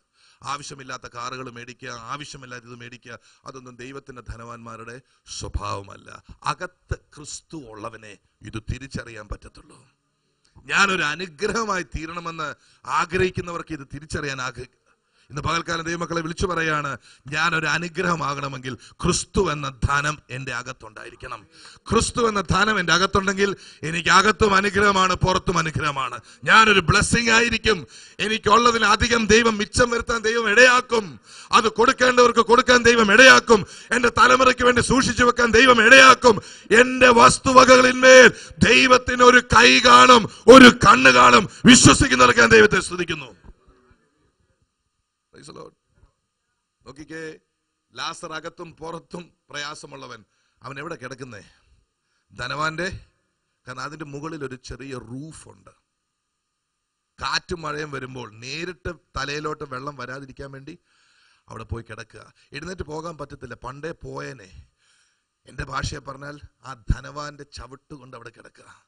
എന്റെ വല്ല ആവശ്യമുണ്ടോ? ധനവാൻ വൈകിട്ട് നാലുമണിയാകുമ്പോൾ മണിയാകുമ്പോൾ ഇഷ്ടം പോലെ ധനവും ഒക്കെ ആയിട്ട് വന്ന് അങ്ങനെ അങ്ങോട്ട് എഴുന്നള്ളുമ്പോൾ ഇവൻ അവിടെ കിടന്ന് ഞെരുങ്ങ നിന്ന് ഇവൻ കേൾക്കാഞ്ഞിട്ടല്ല അച്ഛ കേൾക്കണ്ടെന്ന് വെച്ചിട്ട.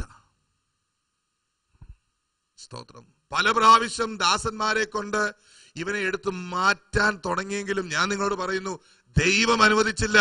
നിങ്ങൾ ചിന്തിച്ചു നോക്കിക്കേ ഇങ്ങനൊരു ധനവാന്റെ പടിപ്പുരയ്ക്കൽ ഇവൻ വന്ന് കിടന്നാൽ സാധാരണഗതിയിൽ ഇവന്റെ അന്തസ്സിന് കുറവ് വരുന്നത് കൊണ്ട് ഇവൻ ഇവനെ എടുത്തു മാറ്റേണ്ടതല്ലയോ?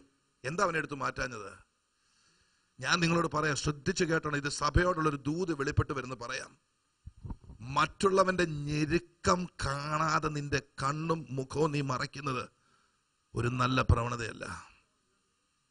നിന്റെ ജീവിതത്തിന് മുമ്പിൽ നിന്നെ പോലെ ധനമില്ലാത്ത ചിലരെ നിരന്തരം ദൈവം നിന്റെ ജീവിതത്തിൽ വെച്ചിട്ടുണ്ടെങ്കിൽ ഓർത്തുകൊള്ളണം. നിന്നെ കൊണ്ട് ചെയ്യാവുന്നതൊക്കെ നീ അവന് വേണ്ടി ചെയ്തു കൊള്ളണം സ്തോത്രം. ഞാൻ ഇങ്ങനെ വിശ്വസിക്കുന്നു. ഈ ഞരക്കം പറയുന്നവനെ ധനവാന്റെ പഠിപ്പുരയ്ക്കൽ കൊണ്ട് ദൈവമാക്കിയത് എന്താണെന്നറിയാമോ? എടാ കുഞ്ഞേ ഒരു നിത്യതയുണ്ട്. നീ നിന്റെ ആഡംബരത്തിൽ എപ്പോഴും പുകഴാമെന്ന് നീ വിചാരിക്കണ്ട.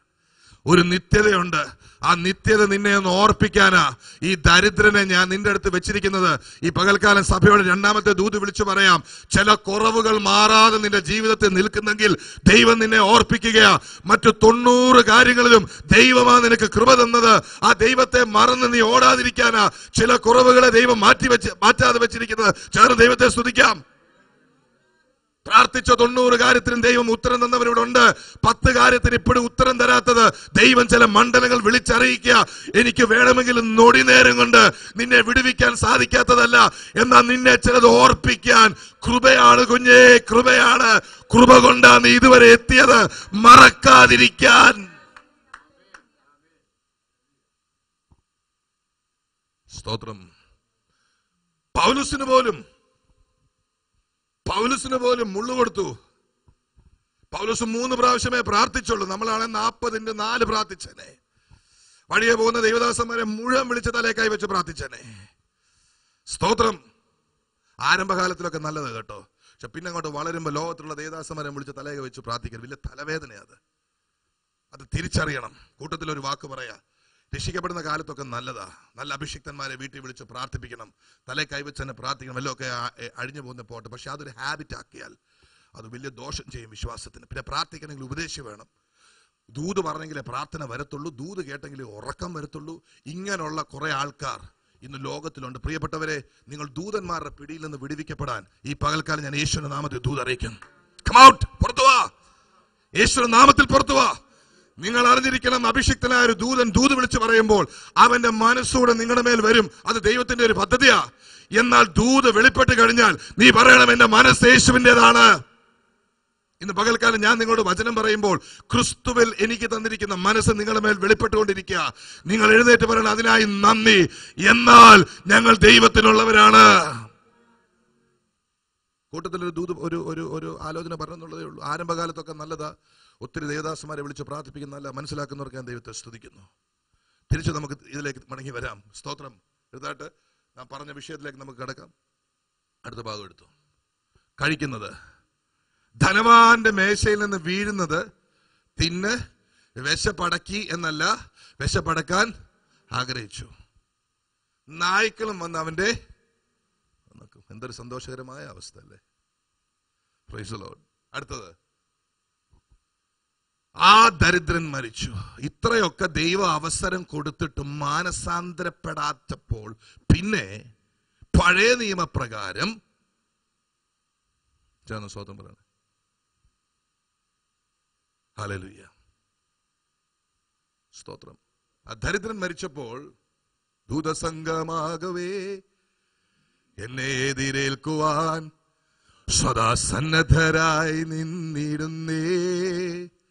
ശുഭ്രവസ്ത്രധാരിയായി എന്റെ പ്രിയന്റെ മുൻപിൽ. ഹല്ലേലൂയ. ഇതെന്താ സംഭവിച്ചത് നിങ്ങൾക്കറിയോ? ദൂതന്മാർ എന്തുകൊണ്ടാണ് വന്നത് നിങ്ങൾക്കറിയോ പുള്ളിക്കാരൻ ഈ കഷ്ടതയിലൂടെ എല്ലാം പോകുമ്പോൾ പുള്ളിക്കാരൻ ഒരു കാര്യം മനസ്സിലായി. ആദ്യമൊക്കെ പുള്ളിക്കാരൻ ധനവാന്റെ പടിപ്പുരയിലേക്കൊന്ന് നോക്കി. ഞാൻ എന്റെ കണ്ണ് ധനവാന്റെ പടിപ്പുരയിലേക്ക് ഉയർത്തുന്നതിന്റെ സഹായം എവിടെ നിന്ന് വരും? ഞാൻ എന്റെ കണ്ണ് ന്യൂയോർക്കിലേക്ക് ഉയർത്തുന്നതിന്റെ സഹായം എവിടെ നിന്ന് വരുന്നു? എന്റെ സഹായം? ഈ പുറത്തുനിന്ന് നോക്കുന്നവർക്ക് പ്രത്യേകിച്ച് വിസിറ്റ് ഒക്കെ ചെയ്യുന്നവർ നിങ്ങൾ പുറത്തുനിന്ന് വരുമ്പം അമേരിക്ക എന്ന് പറയുമ്പോഴത്തേക്ക് നിങ്ങളൊന്ന് ഞെട്ടും. ഞങ്ങൾ ഇവിടെ വന്നപ്പോൾ ഞങ്ങളും ആദ്യം ഒന്ന് ഞെട്ടിയായിരുന്നു. പിന്നെ തൊട്ട് ഞങ്ങൾ അങ്ങോട്ട് ഞെട്ടിക്കൊണ്ടേ ഇരിക്കുക അത് അനുഭവിക്കുന്നവർക്ക് അറിയാം എന്നാലും മാറത്തില്ല സ്വത്രം. അതാണ് പിശാചിന്റെ വല്ലാത്തൊരു പിടിവാണ്. ഹലലുയ പ്രൈസ് ലോഡ് മനസ്സിലായോ? ഇവൻ ദരിദ്രനായി കിടന്നപ്പോൾ ചിലർ അമേരിക്ക വരാൻ പ്രാർത്ഥിക്കും. വന്നു കഴിഞ്ഞ് പത്ത് വർഷം കഴിയുമ്പോൾ എന്റെ കർത്താവേ എന്ന് പറഞ്ഞ് വിളിക്കും. മനസ്സിലാവുന്നുണ്ടോ? അങ്ങനെയുള്ളവർക്കായി ദൈവത്തെ സ്തുതിക്കുന്നു. കർത്താവ് വിടുതൽ തരട്ടെ. ഹാലലുയ ആ ദരിദ്രൻ മരിച്ചപ്പോൾ ദൂതം വന്നതിന്റെ കാരണം കഷ്ടതയിലായിരുന്നപ്പോൾ അമേരിക്കയിലോ ഓസ്ട്രേലിയൻ ദോഹയിലേക്കോ അല്ല നോക്കിയത്. യേശുവെ ധനവാനെ നോക്കി രക്ഷയില്ല. ഒരു കുടുംബമാണ് അബ്രഹാമിന്റെ സന്തതിയാണ്. നീ അവനിക്ക് നീ അവന് ധാരാളം ധനം കൊടുത്തിട്ടും എനിക്ക് ജീവിക്കാൻ വക തന്നാ മതി. ദൈവം അവന് കൊടുത്തില്ല. അവനൊരു കാര്യം മനസ്സിലായി. കുഞ്ഞെ സന്തോഷമെല്ലാം പൂർണമാകണമെങ്കിൽ നീ മേളിലോട്ടിങ്ങ് വരണം.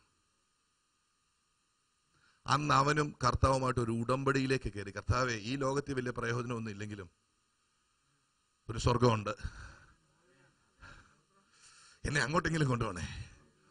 നിത്യമായിട്ട് എന്നെ താഴോട്ടിടല്ലേ? ചേർന്നൊരു സ്വത്രം പറഞ്ഞെ ഹാലേലുയ്യ പ്രൈസ് ഹമേൻ പ്രൈസ് ആ ദരിദ്രൻ മരിച്ചപ്പോൾ ദൂതന്മാർ അവനെ അബ്രഹാമിന്റെ മടിയിലേക്ക് കൊണ്ടുപോയി. ചെറിയ ഒരു ഒരു അറിവിൽ നിങ്ങൾക്ക് അറിയാം എങ്കിലും ഓർപ്പിക്കുകയാണ്. കർത്താവായ യേശു ക്രിസ്തു പുനരുത്ഥാനം ചെയ്യുന്നതിന് മുമ്പ് മരിച്ച കർത്താവിൽ മരിച്ച ഭക്തന്മാർ ചെന്നെത്തുന്ന സ്ഥലമാണ് ഈ പറഞ്ഞ സ്ഥ- സ്ഥലം. പർദീസ എന്നതിനെ ഓക്കെ? അതുകൊണ്ടാണ് ക്രൂശിൽ കടന്ന കള്ളനും അങ്ങനെ പറഞ്ഞത്. ഇന്ന് നീ യേശു കർത്താവ് അവനോട് പറഞ്ഞു ഇന്ന് നീ എന്നോട് കൂടെ? യേശു കർത്താവ് അവിടെ ചെന്ന് കഴിഞ്ഞപ്പോൾ പർദീസയിൽ ഉണ്ടായിരുന്നവരെയും കൂടെ കർത്താവ് എടുത്തുകൊണ്ട് അഥവാ ആ പർദീസയും കൂടെ പൊക്കിയെടുത്തുകൊണ്ട് മൂന്നാം സ്വർഗമായി ഇന്ന് മാറിയിരിക്കുക. ഇത് തിരിച്ചറിയണം. പഴയ നിയമം പുതിയ നിയമം തമ്മിലുള്ള വ്യത്യാസം ദൈവമക്കൾ തിരിച്ചറിയണം. ഇത് പഴയ നിയമ കാലഘട്ടമാണ്. യേശു കർത്താവ് പറഞ്ഞു അബ്രഹാം ഇസാക്ക് മോശ തുടങ്ങിയ ആൾക്കാരെല്ലാവരും ഈ പറദീസ എന്ന് പോയിന്റ് വരെ എത്തിയിരുന്നുള്ളൂ. കാരണം മരണം അവരെ തടഞ്ഞു. നോ ദൈവത്തോട് അടുക്കാൻ നിങ്ങൾക്ക് ഒക്കത്തില്ല. കാരണം മരണത്തെ ആർക്കും തോൽപ്പിക്കാൻ അങ്ങനെ ഇരിക്കാൻ മരണത്തെ തോൽപ്പിച്ച ഒരാൾ അങ്ങോട്ട് ചെന്നു. ഹല്ലേലൂയ മരണത്തെ തോൽപ്പിച്ച ഒരാൾ അങ്ങോട്ട് ചെന്നു. പുള്ളി എന്താ പറഞ്ഞു? ഹാബേലേ? ആ, ഹാബേലല്ലേ മോനെ? ഹാബേലേ? അബ്രഹാമേ? മോശേ? നമുക്ക് മേളിലോട്ട് പോവാം. മോശേ നിന്റെ പ്രമാണത്തിന്റെ കാലം കഴിഞ്ഞു. സ്വത്രം ഇതൊരു ദൂത. മോശേ നിന്റെ പ്രമാണത്തിന്റെ കാലം നീ പ്രമാണം പറഞ്ഞു പറഞ്ഞു പറഞ്ഞു പറഞ്ഞിട്ട് നിനക്ക് മേളിലോട്ട് പോകാൻ പറ്റിയില്ലല്ലോ. അബ്രഹാമേ നിന്റെ വിശ്വാസത്തിന്റെ കാലം കഴിഞ്ഞു. മരണത്തെ തോൽപ്പിച്ച ഒരുവൻ ഇവിടെ വന്നിട്ടുണ്ട്. അവൻ ഉയർത്തെഴുന്നേറ്റപ്പോൾ ഇവരെയും കൂടെ കൊണ്ടുപോകല്ല ഇവർ ഇരുന്ന സ്ഥലം കൂടെ പൊക്കിക്കണങ്ങ് പോയി. ഇന്ന് അതാ മൂന്നാം സ്വർഗം. ആ മൂന്നാം സ്വർഗത്തിലൊക്കെ ഫ്രീ ആയിട്ട് ഇന്ന് ആൾക്കാർ പോകുന്നു ചേർന്ന് സ്വോത്രം പറഞ്ഞട്ടെ. പൗലോസിനെയൊക്കെ ചുമ്മാ ടിക്കറ്റും കൊടുത്ത് കർത്താവും കൊണ്ടുപോയേക്ക. നമ്മളെയും കൊണ്ടുപോകും. ചേർന്ന് സ്വോത്രം പറഞ്ഞിട്ട്. ഇടയ്ക്കൊക്കെ മൂന്നാം സ്വർഗത്തിൽ പോയി കർത്താവിനെ ഒന്ന് കണ്ടേച്ച്. ഈ ആൾക്കാർ കുമ്പനാടും പിന്നെ നിരണത്തും തിരുവല്ലായിലും ഒക്കെ പോകുന്ന പോലെയാ.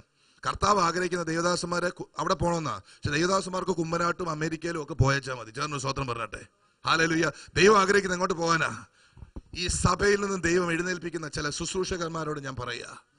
നിങ്ങളെ ദൈവം ശുശ്രൂഷയ്ക്ക് എഴുന്നേൽപ്പിക്കുമ്പോൾ നിങ്ങളുടെ കാര്യങ്ങൾ സ്വർഗത്തിലേക്ക് നീട്ടാവും. ആര് ധനം തന്നെന്ന് പറഞ്ഞാലും ആര് സ്ഥാനം തന്നെന്ന് പറഞ്ഞാലും അവിടെ ഇരിക്കരുത്. അത് ശത്രുവിന്റെ ഒരു തന്ത്രമാണ് തിരിച്ചറിഞ്ഞണം. വിളിച്ചവനാണ് ദൈവം. അവൻ വിശ്വസ്തനാണ്. പട്ടിണി കിടത്തേണ്ടി വരത്തില്ല. അവൻ സുഭിക്ഷമായി നടത്തും. ഈ തന്റെ അടുത്തോടുകൂടെ മാത്രമേ നിങ്ങൾ ദൈവവേലയ്ക്ക് ഇറങ്ങാവൂ. വിളിച്ചത് ദൈവമാണെങ്കിൽ ദൈവം നടത്തും. സ്തോത്രം. ഹാലലുയ്യ ആദ്യം അമേരിക്ക വന്നപ്പോൾ ചില ദൈവദാസന്മാരെ പാത്തും പതുങ്ങിയും പേടിച്ചും ഞാൻ പലരുടെയും ഭാവം ശ്രദ്ധിക്കാറുണ്ട്. പിന്നെ പിന്നെ പിന്നെ വരുമ്പോൾ അങ്ങ് മാറുക. ആൾക്കാർ നിങ്ങൾ തിരിച്ചറിയുന്നുണ്ട് എനിക്ക് അറിഞ്ഞുകൂടാ. ഞാൻ തിരിച്ചറിയുന്നുണ്ട്. കാര്യം എന്നറിയാമോ അവർ വരുന്നതിന് മിക്ക ശതമാനം ആൾക്കാരുടെ ഉദ്ദേശം എന്നറിയോ ഞാൻ എന്റെ പണം മുഴുവൻ പാകിസ്ഥാനിലുള്ള ആത്മാക്കളെ കുറിച്ച് ആർക്കും വേദനയില്ല. അഫ്ഗാനിസ്ഥാനിലുള്ള ആത്മാക്കളെ കുറിച്ച് ആർക്കും വേദനയില്ല.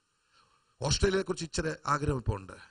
ദുബായിലും ഗൾഫിലും ഓസ്ട്രേലിയയിലും അമേരിക്കയിലുമുള്ള ആത്മാക്കൾക്ക് ഇത്ര വിലയാണ് ഞാൻ ഇവിടെ വന്ന പിന്നെ അറിഞ്ഞത്. കേരളത്തിലെ ആത്മാക്കൾക്ക് വിലയില്ല. കാരണം കേരളത്തിലെ ആത്മാക്കൾക്ക് വേണ്ടി പ്രാർത്ഥിച്ചാൽ ആരും ഒന്നും കൊടുക്കുകയില്ല. ഞാൻ നിങ്ങളോട് ചലഞ്ച് ചെയ്ത് പറയാം. ആരും ഒന്നും തന്നില്ല. സുവിശേഷ വിലയ്ക്ക് ഇറങ്ങാവോ? ദൈവം വിളിച്ച ഇറങ്ങാമോ? ചോദിക്കുക. ദൈവം പോറ്റുമെന്നുള്ള തന്റെ ഇടമുണ്ടോ? ഇന്ന് പകൽക്കാലം അത് പ്രാപിച്ചോണം. നിങ്ങൾക്കുണ്ടായിട്ട് ഭാര്യയ്ക്ക് അല്ലെങ്കിൽ പറയണം നീ വന്നില്ലെങ്കിൽ ഞാൻ സുവിശേഷ വേല ചെയ്യും. അങ്ങനെയുള്ള ചുണക്കുട്ടികളെ എനിക്ക് സഭ വേണ്ടത്. ഭാര്യയ്ക്ക് വേണ്ടി സുവിശേഷ വേല ചെയ്യുന്നതിന് ഇവിടെ വേണ്ട. ഭാര്യയെ പ്രീതിപ്പെടുത്തിയ സുവിശേഷ വേല നടക്കത്തില്ല. ഭർത്താവിനെ പ്രീതിപ്പെടുത്തിക്കൊണ്ടിരുന്ന സുവിശേഷ വേല നടക്കത്തില്ല. മക്കളെ പ്രീതിപ്പെടുത്തിക്കൊണ്ടിരുന്നാൽ സുവിശേഷ വേല നടക്കത്തില്ല. വിളിച്ച ദൈവത്തെ വിളിച്ചാൽ അവൻ നിന്റെ കൂടെ നടക്കും. അവൻ നിന്നെ പുലർത്തും നടത്തും. വിശ്വസിക്കുന്ന കാര്യങ്ങൾ ദൈവത്തെ ശ്രദ്ധിക്കുക സ്തോത്രം. അങ്ങനെ നിന്നാൽ നിന്റെ ഭാര്യയെ നിന്റെ മക്കളെ നിന്റെ കൂടെ ദൈവം കൊണ്ട് തരും. നിന്റെ ഭർത്താവിനെ മക്കളെ കൂടെ കൊണ്ട് ദൈവം തരും. അതാ വിളിച്ച ദൈവം. ഏതാ ഇവിടെ പഠിപ്പിക്കുന്ന കർത്താവ്? അല്ലാതെ ധനവാന്റെ പടിപ്പുരയ്ക്കൽ മേളിലോട്ട് നോക്കുന്ന സംസ്കാരം നമുക്ക് ചേർന്നതല്ല പ്രിയപ്പെട്ടവരെ. സ്തോത്രം. വായിക്കാം. അവൻ ദൈവവുമായിട്ട് ഒരു ഉടമ്പടിയിലേക്ക് കയറി. ആ ദരിദ്രൻ മരിച്ചപ്പോൾ അകത്തും പുറത്തും വ്രണമായി നിൽക്കുന്നവൻ മരിച്ചപ്പോൾ അവനെ ഏൽക്കുവാൻ ദൂതന്മാർ വന്നതിന്റെ കാരണം ഞാൻ പറയാം. അവൻ ദാരിദ്ര്യത്തിലായിരുന്ന പലൻ വിളിച്ചൊരു ദൈവമുണ്ട്. വരുന്ന ലോകത്തിലെങ്കിലും എനിക്ക് സ്വർഗത്തെ തരണമേ. അതുകൊണ്ട് അബ്രഹാമിന്റെ അടുത്തേക്ക് ദൈവം അവനെ കൊണ്ടുപോയത്. ഇന്ന് പകൽക്കാല സഭയിലുള്ളവർ പറയട്ടെ നിങ്ങൾ സമൃദ്ധിയുടെ സുവിശേഷത്തിൽ അല്ല വിശ്വസിക്കുന്നത്. സ്വർഗത്തിലെ സുവിശേഷത്തിലാണ് വിശ്വസിക്കുന്നത്.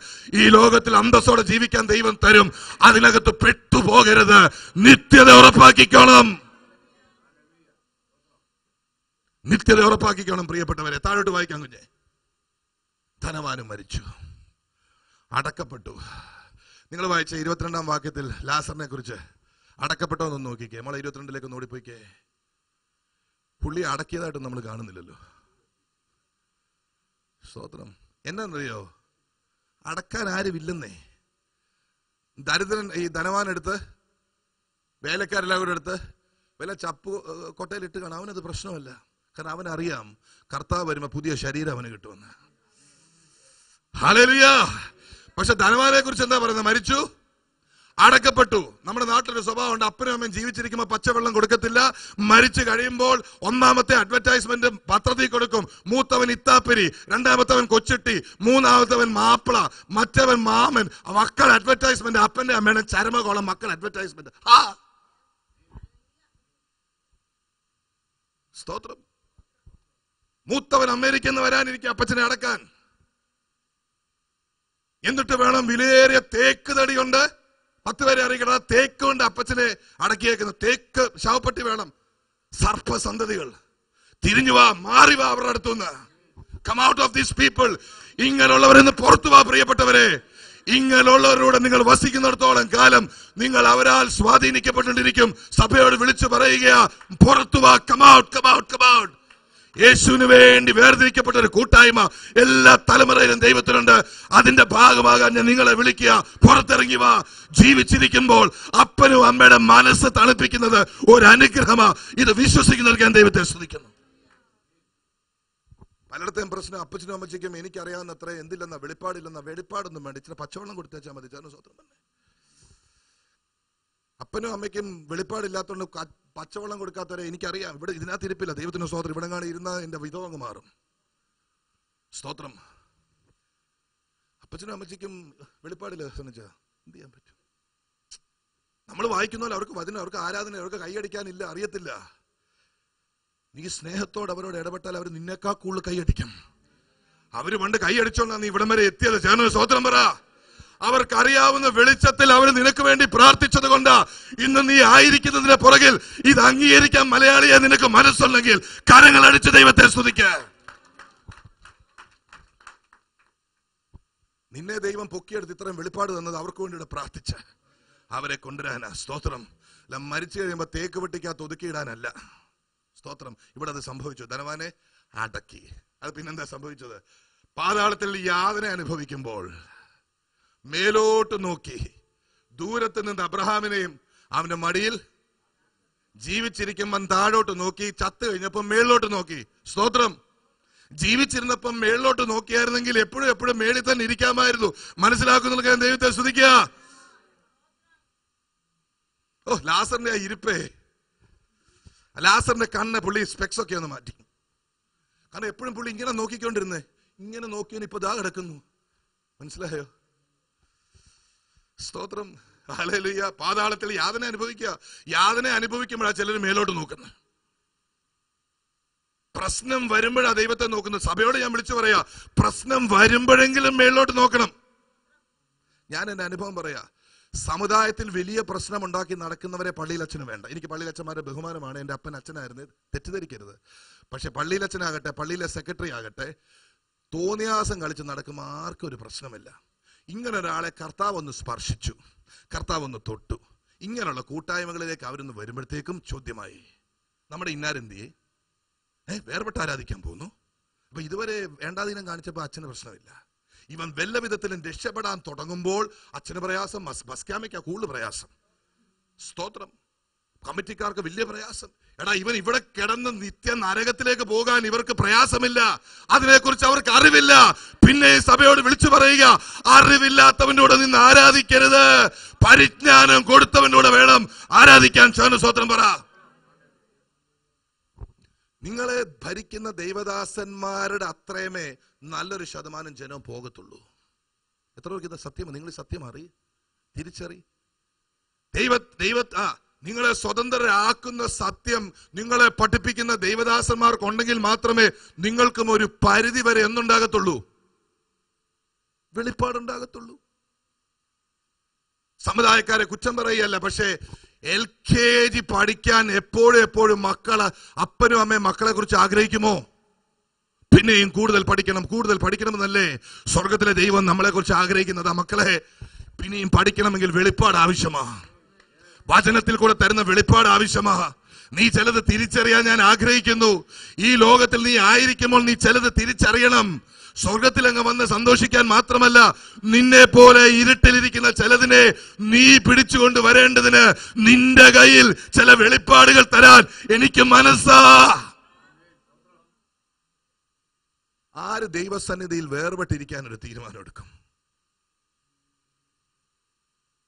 എനിക്ക് വചനം ഒന്ന് പഠിക്കണം. ഞാൻ നിങ്ങളോട് ഉറപ്പ് തരുന്നു. നിങ്ങൾ ദൈവസന്നിധിയിൽ ഒന്ന് ഇരുന്നാൽ കർത്താവ് നിങ്ങളോട് സംസാരിക്കുമെന്നേ. അതിന് യോഗ്യത വേണ്ടെന്നേ. ബുദ്ധി പോലും വേണ്ട. ചിലർക്ക് ബുദ്ധി ഒരു ഒരു ബുദ്ധിമുട്ടാ. ഈ അതിബുദ്ധി കൂടിയിട്ട് ഈ ദൈവത്തിന്റെ ശുദ്ധമായ വചനം മനസ്സിലാക്കാൻ മേല തുത്തിരി പറഞ്ഞു ബുദ്ധി ഭയങ്കര ബുദ്ധിയാ. പക്ഷെ ദൈവത്തെ അറിയാൻ മേല. പറഞ്ഞതിന്റെ അർത്ഥം ബുദ്ധിയുടെ മണ്ഡലം കൊണ്ടല്ല നമ്മൾ കർത്താവിനെ അറിയുന്നത്. വേറൊരു മണ്ഡലമുണ്ട്. ഹൃദയത്തിന്റെ ഒരു മണ്ഡലം. കർത്താവ് നീ എന്റെ കൂടെ ഇരിക്കേ. ഇന്ന് നീ പത്ത് മിനിറ്റ് ഇരിക്കുക നാളെ നിന്നെ ഞാൻ ഇരുപത് മിനിറ്റ് ഇരുത്താം. പിന്നെ മുപ്പത് മിനിറ്റ് ഇരുത്താം. പിന്നെ നാൽപ്പത് മിനിറ്റ് ഇരുത്താം. ഞാൻ എന്റെ അനുഭവം പറയാൻ പ്രിയപ്പെട്ടവർ നിങ്ങളെക്കാൾ ആരെക്കാൾ എനിക്ക് ശ്രേഷ്ഠതയില്ല? ഒരുപക്ഷെ നിങ്ങളെക്കാൾ കുറവുള്ളവനായിരിക്കാം കൂടുതൽ. പക്ഷെ കർത്താവിന്റെ സന്നിധിയിൽ ഇരിക്കുന്ന പോലെ സന്തോഷം എനിക്ക് വേറെ ഇല്ല.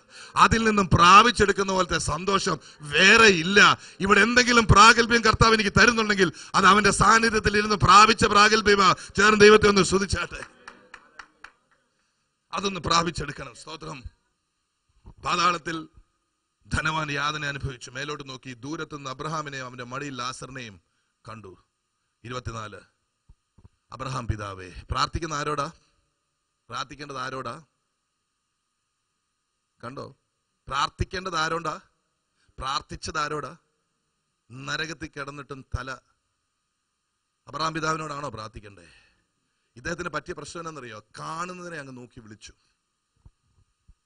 എന്ത് ഉയർന്നും പൊങ്ങിയിരിക്കുന്നോ അതിനെ അങ്ങ് വിളിച്ചു. എന്തിനാണ് ഉയർന്നും പൊങ്ങിയിരിക്കുന്നത് അതിനെ? ഉയർന്നും പൊങ്ങിയിരിക്കുന്ന എല്ലാത്തിനെയും വിളിക്കല്ലോ കേട്ടോ? ഉയർന്നും പൊങ്ങിയിരിക്കുന്നത് പലതും പിശാദിന്റെ മണ്ഡലമാണ്. അത് തിരിച്ചറിയാൻ കർത്താവ് കണ്ണു തുറക്കട്ടെ. നമ്മുടെ ഹൃദയത്തിൽ ഉയർന്നും പൊങ്ങിയിരിക്കാൻ കഴിവും കേൾപ്പുമുള്ള ഒരാൾ മാത്രമേ ഉള്ളൂ. അതിന്റെ പേര് യേശു ദൈവം ഉയർത്തിയതിനെ നിങ്ങൾ നോക്കണം. ഇന്ന് പകൽക്കാല സഭയുടെ ദൈവം ദൂത് പറയാണ് ദൈവം ഉയർത്തിയതിനെ നിങ്ങൾ നോക്കണം. മരുഭൂമിയിൽ പാമ്പ് പിച്ചള സർപ്പത്തെ ആരുയർത്തി നോക്കാൻ പറഞ്ഞു നോക്കി ജനം വിടുവിക്കപ്പെട്ടു. ദൈവം ഉയർത്തുന്നതിനെ നിങ്ങൾ ഉയർത്തി നോക്കിക്കണം. മനുഷ്യൻ ഉയർത്തുന്നതിനെ നിങ്ങൾ നോക്കിയാൽ അത് നമുക്ക് തലവേദനയാണ് അവൻ മുകളിലേക്ക് നോക്കി ലാസർ വിരലിന്റെ അറ്റം വെള്ളം മുക്കി എന്റെ നാവിനെ തണുപ്പിക്കേണ്ടതിന് അവനെ അയക്കണമേ. ഞാൻ ഈ ജ്വാലയിൽ കിടന്ന് വേദന അനുഭവിക്കുന്നു എന്ന് പറഞ്ഞു. എന്താ വേദന എന്ന് മാത്രം മാത്രമല്ല ഇതിങ്ങനെ പോകും. ദൈവവചനത്തിന്റെ ഒരു പ്രത്യേകത മണിക്കൂറുകളോളം ഇതിങ്ങനെ പോകും. ഇവിടെ നമുക്ക് സമയം നിർത്തിയല്ലേ പറ്റൂ? എന്താ യാതന നിങ്ങൾക്കറിയോ? നരകം എന്താണെന്ന് നിങ്ങളൊന്ന് തിരിച്ചറിയണം. നരകം രണ്ട് ലെവലുണ്ട്. ഒന്ന് മരിക്കുമ്പോൾ രക്ഷിക്കപ്പെടാത്ത വ്യക്തിയാണെങ്കിൽ എനിക്കറിയാം ഇത് കേൾക്കുമ്പോൾ ഇച്ചിരി പ്രയാസമൊക്കെ തോന്നാം. കുറച്ച് പ്രയാസം ഉണ്ടാകട്ടെ ചേർന്ന് സ്വതന്ത്രം തന്നെ. നമ്മൾ എപ്പോഴും ഈ ഫീൽ ഗുഡ് ഫാക്ടറിന് വേണ്ടിയിട്ടല്ലല്ലോ സഭയെ വരുന്നത്. അമേരിക്കയിലെ ഒരു പല സഭകളിൽ വരുമ്പോൾ ഇച്ചിരി you should feel good about it that is not the kingdom of God you don't have to feel good all the time എത്ര പേർക്ക് മനസ്സിലായി? ഇപ്പം ചില കാര്യങ്ങൾ even if you don't feel good പിന്നത്തേതിൽ നിങ്ങൾക്കത് ഗുഡായി തീരും. അതുകൊണ്ട് ആ സത്യം പറയുന്നത്.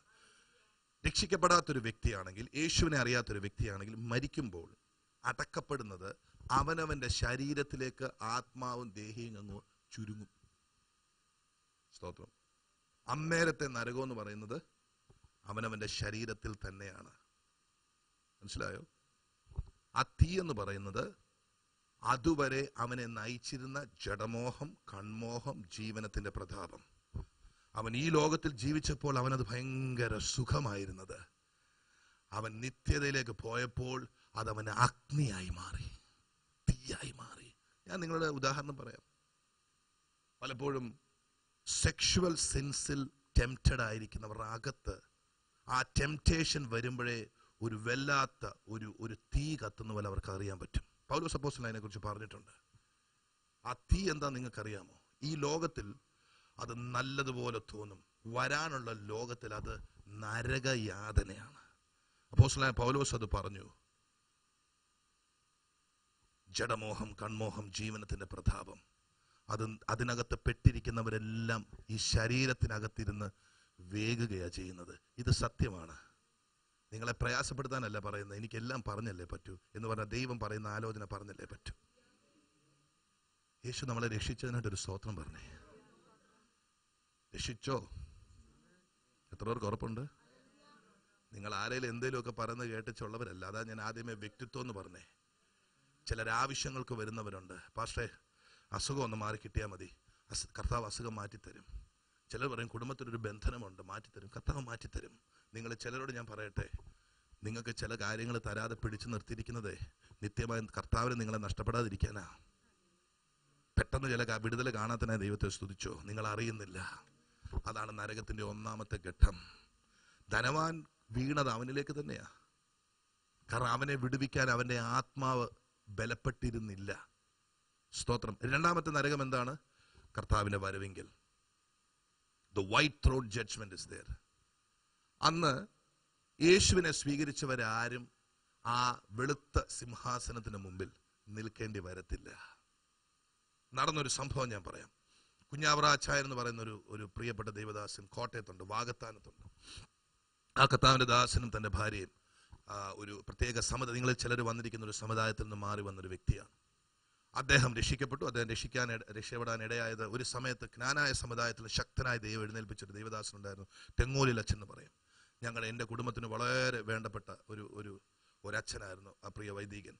അദ്ദേഹത്തിന്റെ ശുശ്രൂഷയിലൂടെ രക്ഷയിലേക്ക് വന്ന ഒരു കുടുംബമാണ് ഈ കുഞ്ഞാവറാച്ചായൻ കുടുംബം. കുഞ്ഞാവറാച്ചായന്റെ കുടുംബത്തിന്റെയും ഒരിക്കൽ ഗൾഫ് യാത്ര പ്ലെയിനിൽ യാത്ര ചെയ്യുമ്പോൾ പ്ലെയിനിൽ തന്റെ ഭാര്യ പെട്ടെന്ന് എടുക്കപ്പെട്ടു. പെട്ടെന്ന് എടുക്ക എനിക്ക് വയ്യാതെ വന്നു. താൻ പെട്ടെന്ന് എടുക്കപ്പെട്ടു. ആ പ്രിയപ്പെട്ടവളെ മടക്കി കർത്താവ് കൊടുത്തു. ആ പ്രിയപ്പെട്ടവൾ പറഞ്ഞൊരു ചരിത്രം ഒത്തിരി സീഡികളിലൊക്കെ ഉണ്ട്. എന്നോട് നേരിട്ട് അച്ചായൻ പറയാനിടയായി. ആ ആന്റി ഇപ്പൊ കർത്താവിനോടൊപ്പമാണ്. വർഷങ്ങൾക്ക് ശേഷം പോയി. ഈ അച്ചായൻ എന്നോട് നേരിട്ട് പറഞ്ഞ സംഭവമാണ്. ആന്റി രക്ഷിക്കപ്പെട്ട് കഴിഞ്ഞപ്പോൾ സ്വർഗത്തിലേക്ക് പോയപ്പോൾ പെട്ടെന്ന് യേശു കർത്താവ് തന്നെ വന്ന് യേശുവിന്റെ കൂടെ മരിച്ചെന്ന് പറഞ്ഞ് അങ്ങനെയുള്ളവരുടെ അടുത്തേക്ക് അങ്ങ് കൊണ്ടുപോയ ഒരു അനുഭവം തനിക്കുണ്ടായെന്ന് പറഞ്ഞു. എന്ന് പറഞ്ഞാൽ നിങ്ങൾ രക്ഷിക്കപ്പെട്ടെങ്കിൽ ഒരിക്കലും ദൈവത്തിന്റെ ആ വൈറ്റ് ത്രോൺ ജഡ്ജ്മെന്റ് മുമ്പിൽ നിൽക്കേണ്ടി വരത്തില്ല. കാരണം നമുക്ക് എന്ത് കുറവുള്ളവരാണെങ്കിലും യേശു യേശുവിന്റെ കെയർ ഓഫിൽ നമുക്ക് രക്ഷയാം. പ്രിയപ്പെട്ടവരെ എന്റെ നന്മയോ നിങ്ങളുടെ നന്മയോ അല്ല. യേശുവിന്റെ മേൽവിലാസം മാത്രമേ സ്വർഗത്തിൽ നിലനിൽക്കത്തുള്ളൂ. എന്റെ മോന്റെ പേര് നിങ്ങൾ വിളിച്ചോ? എന്റെ പുത്രന്റെ നാമത്തിൽ ഞാൻ നിങ്ങളെ സ്വീകരിച്ചിരിക്കുന്നു. കർത്താവെ ഞാൻ കല്ലുംപാട്ടയാണ്. ഞങ്ങളുടെ എന്റെ എന്റെ വല്യപ്പൻ ഭയങ്കര ഉപദേശിയാന്ന് പറഞ്ഞ് ഞാൻ സ്വർഗത്തിൽ പോകാൻ എനിക്കൊക്കത്തില്ല. എന്റെ അപ്പൻ ഒരു വൈദികനായിരുന്നു. ഫിലഡൽഫിയയിൽ അദ്ദേഹം നിസ്വാർത്ഥ സേവനം അനുഷ്ഠിച്ചിട്ടുണ്ട്. പത്ത് പൈസ മേടിക്കാതെ ഇവിടുത്തെ സഭകളിൽ അദ്ദേഹം ശുശ്രൂഷ എന്ന് പറഞ്ഞാൽ ദൈവം അത് സ്വീകരിക്കണമെന്ന് നിർബന്ധമില്ല. അതിനൊക്കെ അനുഗ്രഹം ഈ ലോകത്ത് കിട്ടും. എന്നാൽ സ്വർഗത്തിൽ ഞാൻ ചെല്ലുമ്പോൾ നീ ആരാ? ഞാൻ യേശുവിന്റെ കെയർ ഓഫിലാണെന്ന് പറഞ്ഞാൽ കർത്താവ് എന്നെ എന്നെ സ്വർഗത്തിലേക്ക് എടുത്ത്. മനസ്സിലാക്കുന്നു ദൈവത്തെ. നല്ല കുടുംബങ്ങൾക്കായി സ്തോത്രം. ഞാൻ എന്റെ കുടുംബത്തെക്കുറിച്ച് വളരെ അഭിമാനിക്കുന്ന വ്യക്തിയാണ്. പക്ഷേ എനിക്കതൊരു വിഗ്രഹമായപ്പോൾ ഞാൻ എടുത്ത് മാറ്റി. കാരണം എനിക്ക് മനസ്സിലായി എനിക്ക് ദൈവസന്നിധി നിൽക്കാൻ കേൾപ്പുണ്ടെങ്കിൽ അതിന്റെ യേശുവിന്റെ പേര് കൊണ്ട് മാത്രമാണ് മനസ്സിലായി. സ്തോത്രം. അങ്ങനെയുള്ളവർക്ക് രണ്ടാമത്തെ മരണം ഇല്ല. എന്നാൽ യേശുവിനെ അറിയാത്തവർ ദൈവത്തിന്റെ മുമ്പിൽ നിന്ന് കണക്ക് ബോധിപ്പിക്കണം. കണക്ക് ബോധിപ്പിക്കണം. അവർ കണക്ക് ബോധിപ്പിക്കുമ്പോൾ ദൈവത്തിന് മുമ്പാകെ നിലനിൽക്കാൻ കഴിയുന്ന ആരെങ്കിലും ഉണ്ടോ? ഏതെങ്കിലും സൽപ്രവർത്തിക്ക് ദൈവത്തിന് മുമ്പാകെ തന്റെ അടുത്തോടെ നിൽക്കാൻ പറയാം. കർത്താവെ ഞാൻ ആയിരം രോഗികളെ സൗഖ്യമാക്കിയതാണ്. ഞാൻ ഒരുപാട് പാവപ്പെട്ട കുഞ്ഞുങ്ങളെ പഠിപ്പിച്ചതാണെന്ന് പറഞ്ഞ ദൈവം പറയും. നിന്റെ സൽപ്രവർത്തി എന്റെ മുമ്പിൽ കറ പുരണ്ട അഴുക്ക് തുണി പോലെയാണ്. അതുകൊണ്ട് സൽപ്രവർത്തി കൊണ്ട് സ്വർഗത്തിൽ പോകാൻ ഒക്കത്തില്ല. ദൈവം അങ്ങനെ പറഞ്ഞിരിക്കുന്നത് എന്നാൽ നിങ്ങൾ ചെയ്യുന്ന എല്ലാ സൽപ്രവർത്തിക്കും ലോകത്തിൽ നിങ്ങൾക്ക് അനുഗ്രഹം ഉണ്ടാവും നിങ്ങൾ പാവപ്പെട്ടവരെ സഹായിച്ചാൽ ലോകത്തിൽ നിങ്ങൾക്ക് അനുഗ്രഹം ഉണ്ടാകും പക്ഷെ സ്വർഗത്തിൽ നിങ്ങൾക്ക് നന്മയുണ്ടാകേണ്ടതിന് യേശുവിൽ വിശ്വസിക്കാതെ മറ്റൊന്നിലും രക്ഷയില്ലെന്ന് പ്രിയരെ പിന്നെയും ഈ പകൽക്കാലം നിങ്ങളോട് വിളിച്ചു പറയുകയാണ്. ഓൺലി ഇൻ ജീസസ് കാരണം സ്വർഗം തീരുമാനിച്ചതാരാ സ്വർഗം ഡിസൈൻ ചെയ്തതാരാ സ്വർഗത്തെ പണിഞ്ഞു വെച്ചതാരാ സ്വർഗം ഉണ്ടാക്കിയ ദൈവം. ആ ദൈവം പറഞ്ഞ് ഇതിനകത്ത് കയറണമെങ്കിൽ ഞാൻ വിചാരിക്കുന്നവർക്കേ മാത്രമേ ഇതിനകത്ത് കയറാനൊക്കത്തുള്ളൂ. നിന്റെ പ്രമാണം കൊണ്ടോ സൽപ്രവൃത്തി കൊണ്ടോ ഇതിനകത്ത് കയറാനൊക്കത്തില്ല. ഇതിനകത്ത് കയറണമെങ്കിൽ ഞാനൊരു വിസ എഴുതി വെച്ചിട്ടുണ്ട്. ആ വിസയുടെ പേര് യേശു എന്നാ. അപ്പൊ യേശു എന്ന വിസ ഇല്ലാത്തവരെല്ലാം രണ്ടാം മരണത്തിൽ കത്തുന്ന തീപ്പൊയ്കയിലേക്ക് വലിച്ചെറിയും. അതാണ് രണ്ടാമത്തെ നരകം. ഈ പകൽക്കാലം പ്രിയപ്പെട്ടവരെ ഈ തിരുവത്താഴത്തിന് ഒരു പ്രത്യേകതയുണ്ട്. സ്തോത്രം. ഈ തിരുവത്താഴത്തെ കുറിച്ച് കർത്താവ് എന്നോട് പറഞ്ഞിരിക്കുന്ന ഒറ്റ കൽപ്പനയാണ്. ഞാനും കർത്താവിനോടൊപ്പം യോജിക്കുന്നു. നിങ്ങൾക്ക് ആർക്കും ഇതിലേക്ക് നീട്ടാം. പക്ഷേ പിന്നീട് നിങ്ങൾ പോയി പരിശുദ്ധാത്മാവിനെ അംഗീകരിക്കാത്ത ദൈവവചനത്തിന് താല്പര്യം കൊടുക്കാത്തവർ നിങ്ങൾ ചേരരുത് എന്ന് ഞാനും പറയുന്നു. അത് പറയുന്നതിന് മുമ്പ് കർത്താവ് എന്നോട് പറഞ്ഞു അതിന്റെ പുറകിലും വിഷയമുണ്ട്. നിങ്ങൾ ചേരുന്നത് ക്രിസ്തുവിന്റെ ശരീരത്തോടാ. അവനെ അംഗീകരിക്കുന്നവരോടാ. അവനെ സ്നേഹിക്കുന്നവരോടാ. അവന് വേണ്ടി ജീവൻ കൊടുക്കുവാൻ മനസ്സുള്ളവരോടാ നിങ്ങൾ ചേരുന്നത്. അതുകൊണ്ട് ആർക്കും ഇതിനകത്ത് ഭാഗമാകാം. ആരും നിങ്ങളെ തടയത്തില്ല. ഞാൻ തടയത്തില്ല കർത്താവിന്റെ ദാസന്മാർ ആരും നിങ്ങളെ തടയത്തില്ല. പക്ഷെ ഒരിക്കൽ നിങ്ങൾ കൈ നീട്ടിയാൽ ഇതൊരു സമർപ്പണത്തോടു കൂടി നിങ്ങൾ കൈ നീട്ടണം. ഇനി പുറകോട്ടില്ല കർത്താവേ. എന്റെ നിത്യത ഇറ്റ് ഇസ് വെരി ഇമ്പോർട്ടന്റ് എന്റെ ഇറ്റേണിറ്റി എനിക്ക് വളരെ വലുതാണ്. യേശുവിനെ സ്വന്തം രക്ഷിതാവായി സ്വീകരിച്ചിട്ടില്ലെങ്കിൽ ഇന്ന് പകൽക്കാലം ഞാൻ അങ്ങനെയുള്ളവർ വിളിച്ചു പറയുക. ഒരു തീരുമാനമെടുക്കണം. എത്ര വർഷം ജീവിച്ചിരിക്കുന്നു നിങ്ങൾക്ക് അറിഞ്ഞുകൂടാ? കർത്താവ് എപ്പോൾ വരുന്നെന്ന് നിങ്ങൾക്ക് ആർക്കും അറിഞ്ഞുകൂടാ? കർത്താവിന്റെ വരവെങ്കിൽ നമ്മൾ കർത്താവിനോടൊപ്പം കാണണം. അതാണ് ഒന്നാമത്തെ നമ്മൾ ആഗ്രഹിക്കേണ്ട രക്ഷ. അത് തീരുമാനിച്ചാൽ അതോടൊപ്പം നിങ്ങൾക്ക് ഈ ലോകത്തിൽ ജീവിക്കാൻ അന്തസ്സായി ജീവിക്കുവാൻ നിങ്ങൾ മറ്റുള്ളവർ മേൽ മാനിക്കേണ്ടതെല്ലാം കർത്താവ് തരും. ചേർന്ന് സ്വതം പറയട്ടെ. ആര് ഈ തീരുമാനമെടുക്കും? കർത്താവ് നിങ്ങളെ സഹായിക്കട്ടെ. ഹാലലുയ്യ